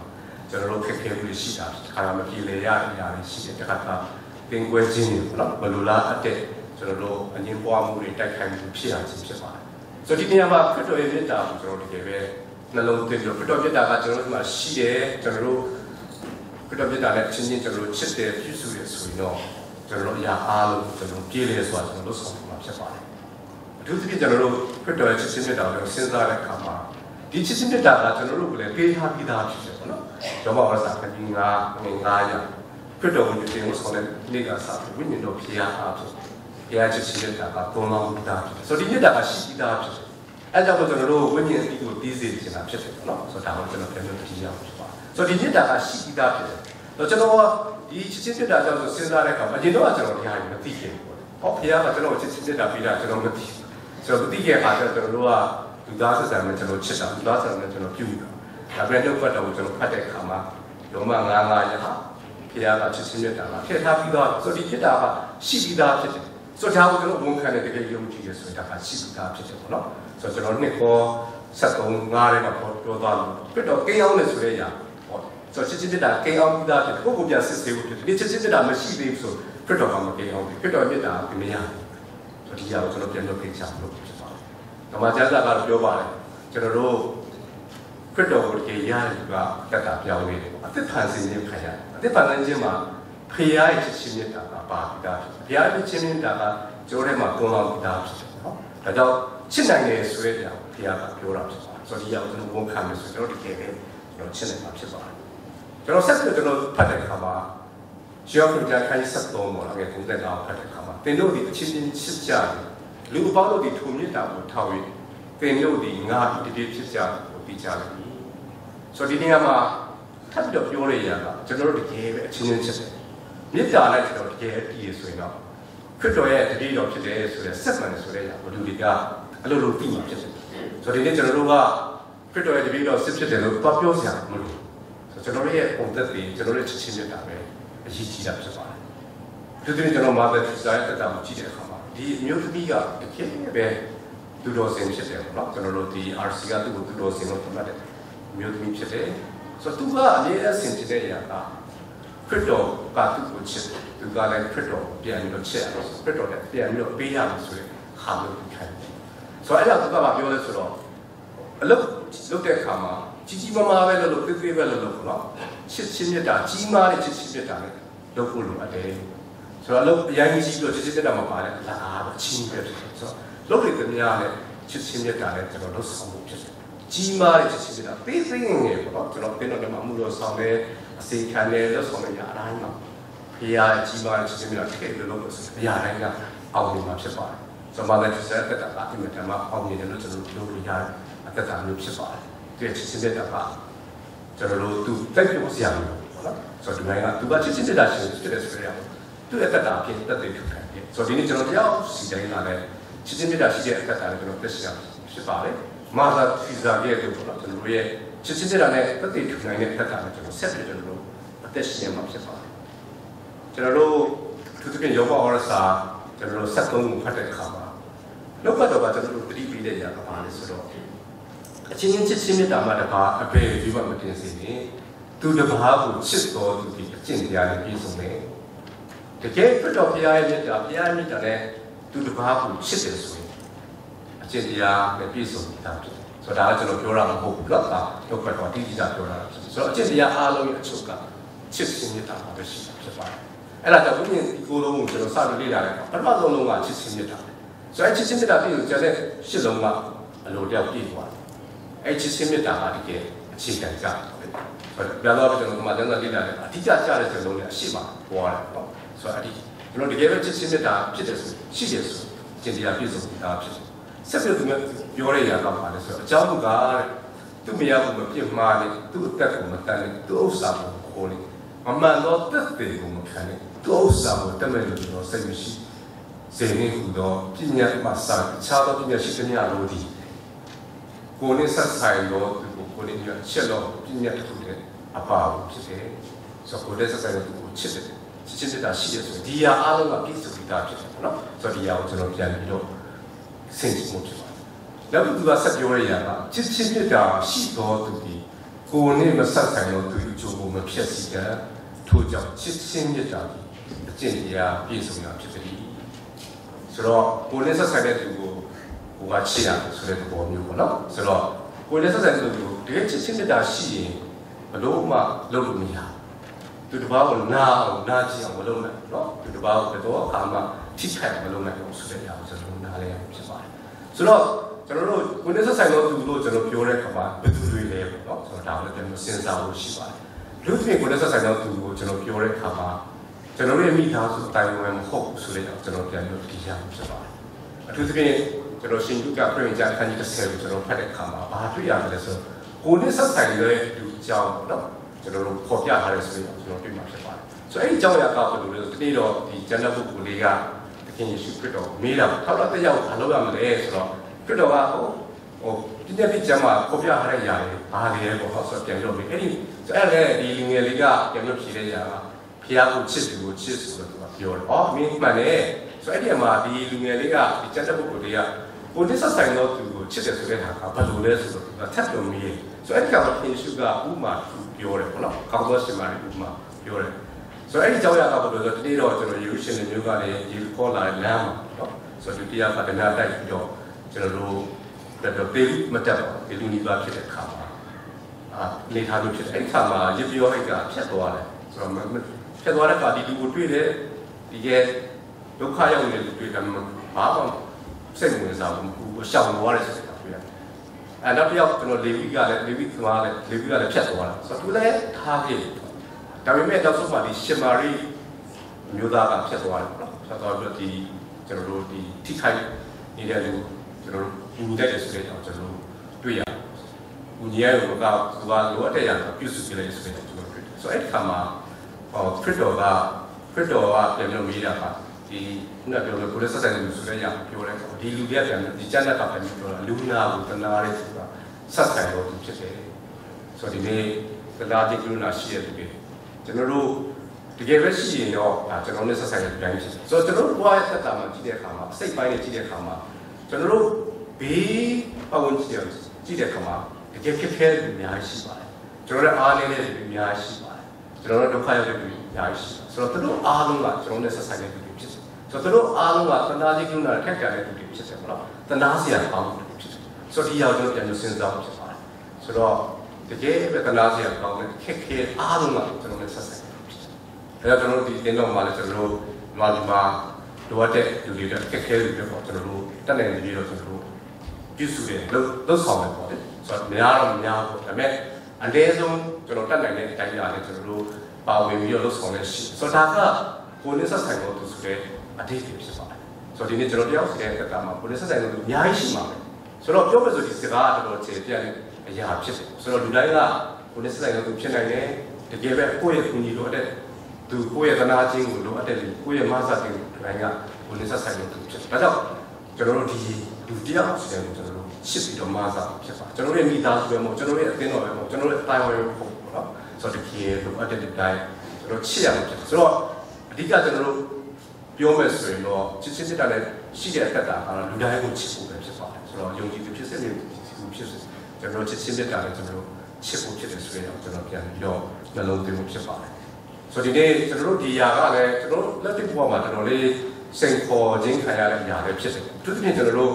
ခုခေတ်ကာလမှာတော့ဒီအမုန်းပွားတဲ့စကားကအားများတယ်နော် hate speech ဆိုတော့ဒါက NGO လိုများများမှလည်းဒါကိုဟိုတွန်းလှန်တဲ့ပုံစံလူတွေလုပ်နော်ဆိုတော့ကျွန်တော် project တွေလုပ်ပြီးတော့ဒီအမုန်းစကားတွေ နည်းနည်းပြနေအောင်ဒီအမုန်းစကားတွေဖြစ်အောင်နော်ဆိုတော့ဒီຢာတွေလို့ဆောင်နေရှိဆိုတော့ကျွန်တော်တို့ internet တွေကျွန်တော် Facebook တွေကြည့်တယ်ခုနပြောသလိုပေါ့ Twitter စသည်ဖြင့်အဲ့လိုမျိုး social media တွေအောက်မှာဒီ comment block တွေရှိတယ်ဆိုတော့အဲ့ဒီမှာကျွန်တော်အမုန်းပွားတဲ့စကားအများကြီးတွေ့ရတယ်ပေါ့နော်ဆိုတော့အဲ့လိုအများကြီးတွေ့ရတဲ့အခါမှာလူတွေကသူတို့တတ်တဲ့သူတို့ဉာဏ်ပညာနဲ့လှုပ်ဆောင်တဲ့ຢာကပါလဲဆိုတော့သူတို့ကဒီ community standard နော်ဆိုတော့လူမှုကျင့်ဝတ်တဲ့အဆင့်တန်းနဲ့ညီတဲ့အရာတွေပဲသူတို့က တင်တယ်ပေါ့ကျန်တဲ့မညီတဲ့ဟာတွေအလုံးဖြုတ်ချမယ်ဆိုပြီးတော့သူတို့ကအဲ့လိုမျိုးလုပ်တဲ့အစီအစဉ်တွေရှိတယ်ပေါ့လေဆိုတော့လုပ်တဲ့ခါမှာကျွန်တော်တို့မကောင်းတဲ့ဟာတွေဖြတ်သွားတယ်သူကအပေးဖြတ်တဲ့ຢာတွေပေါ့ကြော့နေတယ်ဒါပေမဲ့ဒီຢာတွေကဆက်ရှိနေတော့ပဲပေါ့နော်ဆိုတော့တစ်ခါတစ်ခါအဲ့ဒီຢာတွေကြောင့်လူတွေရဲ့တက်တာမှာပို့ပြီးတော့မုန်းပွားလာတဲ့ຢာတွေရှိတယ်ချစ်ချစ်မြတ်တာပို့ပြီးတော့ခေါင်းပွားသွားတဲ့အနေအထားမျိုးဖြစ်တယ်ဆိုတော့ဒီနေရာမှာဒီကျွန်တော်တို့ယုံကြည်သူတယောက်စီတိုင်းကဒီလိုမျိုးမုန်းပွားတဲ့ຢာမျိုးကိုကျွန်တော်စစ်စော်တဲ့ຢာမျိုးပေါ့နော်ကျွန်တော်တို့ခုနပြောသလိုပေါ့ ါ့ ဟိုဘိန်းတက်ပေးတဲ့လူတွေမဖြစ်ဘူးတော့အရင်ကြီးချင်ပေါ့နော်ဆိုတော့ဒါကိုကျွန်တော်ဒီနေ့ပြန်ပြီးတော့အားပေးစီတခါတော့ကျွန်တော်မယူရပါဘူးဒါပေမဲ့တကယ်လို့ဟိုလောက်တဲ့အနေထားမျိုးဖြစ်တယ်တခါကမယူရဘူးဒါပေမဲ့ကျွန်တော်တို့ပြောတဲ့စကားတစ်ခုကြောင့်ရေးတဲ့စာလုံးတစ်လုံးကြောင့်ဒီဘဝတက်တာကမျိုးဖြစ်သွားနိုင်တယ်အမုန်းပွားတဲ့ຢာတွေဖြစ်တယ်တက်တနာမျိုးမျိုးဖြစ်သွားနိုင်တယ်တခါတခါချစ်ချင်းမြတ်တာလည်းတက်တက်ကျွန်တော်တို့တက်တနာလည်းအများကြီးဖြစ်တယ်ဆိုတော့ကျွန်တော်တို့တယောက်စီတိုင်းကကျွန်တော်တို့ဆောင်တဲ့ຢာတိုင်းမှာကျွန်တော်တတိရှိဖို့လိုချစ်ချင်းမြတ်တာနဲ့လောက်ဆောင်မှုကြီးတယ် သူတစ်ပါးကိုကျွန်တော်တို့မနစ်တာအရင်ကြီးတခါတခါကျွန်တော်မှန်သောစကားပြောရင်တော့အသေးဖြစ်ပြီးသားဖြစ်တယ်ဆိုတော့ဒီအောင်ကျွန်တော်တို့ပြန်ပြီးတော့နားလည်ဖြစ်ခါတခါဒီလူကမကောင်းပါဘူးဒီလူကခိုးတတ်တယ်လို့ပြောတယ်သူ့ကိုကျွန်တော်တို့ကမသိမသာအသေးဖြစ်တာဆိုတော့တကယ်တော့ကိုကသိနေမပြောသင့်ဘူးခါတခါကျွန်တော်တို့မှာကျတဲ့မှာသူတစ်ပါးအသေးဖြစ်တယ်ဆိုတော့တခါအမှန်နဲ့စကားပြောတော့အသေးဖြစ်ပြီးသားရအများကြီးဆိုတော့ဒီရတယ်ကျွန်တော်ပြန်ပြီးတော့စဉ်းစားဆိုတော့ကျွန်တော်တို့လောက်ဆောင်နေတဲ့အတိုင်းမှာဉာဏ်ပညာရှိပြီးတော့ကျွန်တော်တို့ဆောင်ဖြစ်တယ် ချစ်ချစ်တာပါပြီးတော့ငါဟာပြောလိုက်ရင်တော့သူထိခိုက်သွားမလားမှန်တဲ့យ៉ាងပြောတာဒါပေမဲ့သူထိခိုက်သွားနိုင်သလားကျွန်တော်တို့ပြန်လို့စဉ်းစားဖို့ဖြစ်ပါတယ်ဒါကြောင့်ကျွန်တော်တို့ဓမ္မကျမ်းစာပြီးပြီးတဲ့ကြာချစ်ချင်းချစ်တာကခတ်သိမ်းသောយ៉ាងကိုဖုံးတယ်ဆိုတော့ဒါကကျွန်တော်တို့ဆောင်တဲ့သူဘက်က receiver ဘက်ကမဟုတ်ဘူးကျွန်တော်လုပ်တယ်ကျွန်တော်ကျွန်တော်ကဒီအရာပေါ်မှာကျွန်တော်တို့ဟိုမယူတော့ဖုံးလောက်အောင်လုပ်သွားမယ်ဆိုလုပ်မရဘူးဒါကိုကျွန်တော်မကြော်ကြော်သွားတယ်ဆိုတော့ အမုန်းစကားတွေဖြစ်လာမယ်ပြဿနာတွေဖြစ်လာမယ်ဒါမျိုးဖြစ်ဆိုတော့ဒါကကျွန်တော်တို့ရဲ့ခံယူရဲ့အရာကျွန်တော်အသက်ရှင်တဲ့အရာမှမဟုတ်တာဖြစ်တယ်ဒါကြောင့်ကျွန်တော်တို့ချစ်ချင်းမြတ်တာနဲ့ကျွန်တော်တို့ဒီကေပဲအသက်ရှင်မှာဖြစ်ပါတယ်ကျွန်တော်တို့အတင်းတော်မှာတလောကပေါ့နော်ကျွန်တော်တို့ဒီလူသမီးတယောက်ရှိတယ်ဆိုတော့သူကအာဘာဖြစ်တယ်လဲဆိုတော့သူကလူတယောက်ကိုချီအောင်ထားတယ်နော်လူတယောက်မကောက်ချီအောင်ထားတဲ့အရှိဆိုတော့တတိယကသူကပြန်ပြီးတော့လွတ်မြောက်သွားတယ်ဆိုတော့လွတ်မြောက်သွားတဲ့အခါမှာ သူကဘယ်လိုမျိုးတော့ဘယ်လိုဖြစ်သွားလဲဆိုတော့သူ့ရဲ့တက်တာမှာဒီလူတယောက်ကသူလက်ခံနိုင်တဲ့အရာကိုလုပ်တဲ့အခါမှာသူ့အနေနဲ့ခြေတော်မိတာဖြစ်သွားတယ်မုန်းတီးသူဖြစ်သွားတယ်တစ်ချိန်တော့ကသူတို့ရန်ရင်းနေတယ်သူ့အနေနဲ့အများကြီးညီမသားမှုရှိတယ်တယောက်တယောက်ပြန်လာပေါ့နော်ညီမသားဒါပေမဲ့တတိလက်ခံနိုင်တဲ့အတိုင်းတာတစ်ခုခုကိုလုပ်တဲ့အခါမှာဒီရပုံမှာလက်ခံနိုင်တဲ့အခါမှာမုန်းတီးမှုဖြစ်သွားတော့ချီနှောင်ကြီးတွေဖြစ်သွားတယ်နောက်ဆိုသူတို့ အတူတူတွေ့တဲ့အခါမှာမျက်နှာချင်းမဆိုင်တဲ့ပုံမျိုးတွေကျွန်တော်တွေ့ရတယ်ဒါပေမဲ့တတိယတော့ပြန်တတိယဩဒီလူတယောက်ကသူ့ကမှအရင်တော့ကောင်းခဲ့တာဒီတစ်ချက်လေးနဲ့ငါကချုပ်နှောင်ထားရင်ချီနှောင်ထားရင်မဟုတ်ဘူးပေါ့နော်ဆိုတော့တနေ့တရားကတင်ပြီးတယ်ဆိုတာသူကပြန်ပြီးတော့ဒီ link ကိုရတယ်ပြန်ပြီးတော့တောင်းပန်တယ်ပေါ့နော်တောင်းပန်တယ်ဆိုတဲ့ညာဆိုတော့တောင်းပန်တဲ့အခါမှာသူကတခဲလွတ်မြောက်ခြင်းရသွားတယ်ဆိုတော့ချစ်ချင်းမြတ်တာကကျွန်တော်တို့ကိုချီနှောင်စေခြင်းနဲ့ညာတခဲလွတ်မြောက်ခြင်းအသက်တာကိုရရှိစေခြင်းနဲ့အသက်တာဖြစ်တယ် ဆိုတော့ဒီနေ့ချစ်ချစ်စစ်တာတကယ်ပဲရှိလို့တက်တက်တာအမြဲတမ်းလွတ်မြောက်မှာဖြစ်တယ်အမြဲတမ်းကျွန်တော်တို့ဟိုဝမ်းမြောက်နေမှာဖြစ်တယ်ဆိုတော့ဒီနေ့ကျွန်တော်တက်တာတော့ပြန်ပြီးတော့စဉ်းစားဖြစ်တယ်ဒီနေ့ကျွန်တော်တို့ဟိုချီတောင်နေမိသားလူတွေများရှိသလားပေါ့နော်မရှိတယ်ဆိုကျွန်တော်ပြန်ပြီးတော့စဉ်းစားဖို့ဖြစ်တယ်ဆိုတော့ကျွန်တော်တယောက်တယောက်ချီတောင်မိနောက်တစ်ယောက်ဆက်ချီတောင်ဖို့ကအင်မတန်လို့ပေါ့နော်ဆိုတော့ဒီနေ့ဖေယားကတယောက်ကျွန်မတယောက်ဆိုတဲ့မချီတောင်ဖို့ခါပြောသူကိုယ်တိုင်လည်းမချီတောင်ဆိုတဲ့ရောက်ကျွန်တော်တို့ဒါလည်း သူကိုယ်တိုင်ကလူတိုင်းကိုတော်တော်များများချစ်တယ်အားလုံးကိုချစ်တယ်ပေါ့နော်ကျွန်တော်လူကောင်းပဲပြောလူဆိုးပဲသူချစ်ပါတယ်လည်းကိုချစ်ပြီးသားဖြစ်တယ်တော့သူကကဲနေနေပေးတာဆိုတော့ဒီနေ့ဖခင်ချစ်ချင်းမြတ်ပြန်ပြီးတော့စဉ်းစားပြီးတော့တကယ်ဖခင်ရဲ့ချစ်ချင်းမြတ်တာအဖြစ်တကယ်ပဲလွတ်မြောက်ဖို့တကယ်ဖြစ်နေတယ်ဆက်ပြီးတော့သက်ရှင်ဖြစ်ပါတယ်ဒါကြောင့်ကျွန်တော်တို့တက်ကမှာတကယ်ပဲဒီနေ့ခံယူရတဲ့ဒီကျွန်တော်တို့ယုံကြည်ရတဲ့တက်ကပြန်ပြီးတော့စဉ်းစားပြီးတော့ဒီနေ့ ဒီချက်သုံးချက်ကိုကျွန်တော်ပြန်ပြီးတော့စဉ်းစားဖို့ဖြစ်ပါတယ်ဆိုတော့ဒီကုန်းအနေနဲ့ကျွန်တော်အနေနဲ့အားပေးချင်တဲ့ညပါပါလေဆိုတော့တကယ်ပဲခရစ်တော်ကိုတကယ်ပဲယုံကြည်တဲ့သူတရားပါသူရဲ့အရှင်သခင်ကိုတကယ်အမှန်တကယ်ယုံကြည်ပူဇော်မှုဖြစ်တယ်ပေါ့နော်။မှန်တကယ်ယုံကြည်ပူဇော်ရုံနဲ့မကဘူးနာခံတဲ့သက်တာနဲ့ကျွန်တော်သက်ရှင်နေမှာဖြစ်ပါတယ်။ဆိုဒီနေ့ခရစ်တော်မိမိရဲ့အရှင်သခင်ကယ်တင်ပါရှင်တကယ်ပဲဝန်ခံတယ်။အချွေးမဲ့ယုံကြည်ငါကသူ့ရဲ့ဂျုံမဲလို့သူခံရတဲ့လူတိုင်းကသူ့ရဲ့ရှင်အချိန်တိုင်းနာကြယုံကြည်ပူဇော်ပြီး အချွေးမဲ့နာခံတယ်ဆိုတဲ့ကြောင့်ကျွန်တော်နာကြရပါတယ်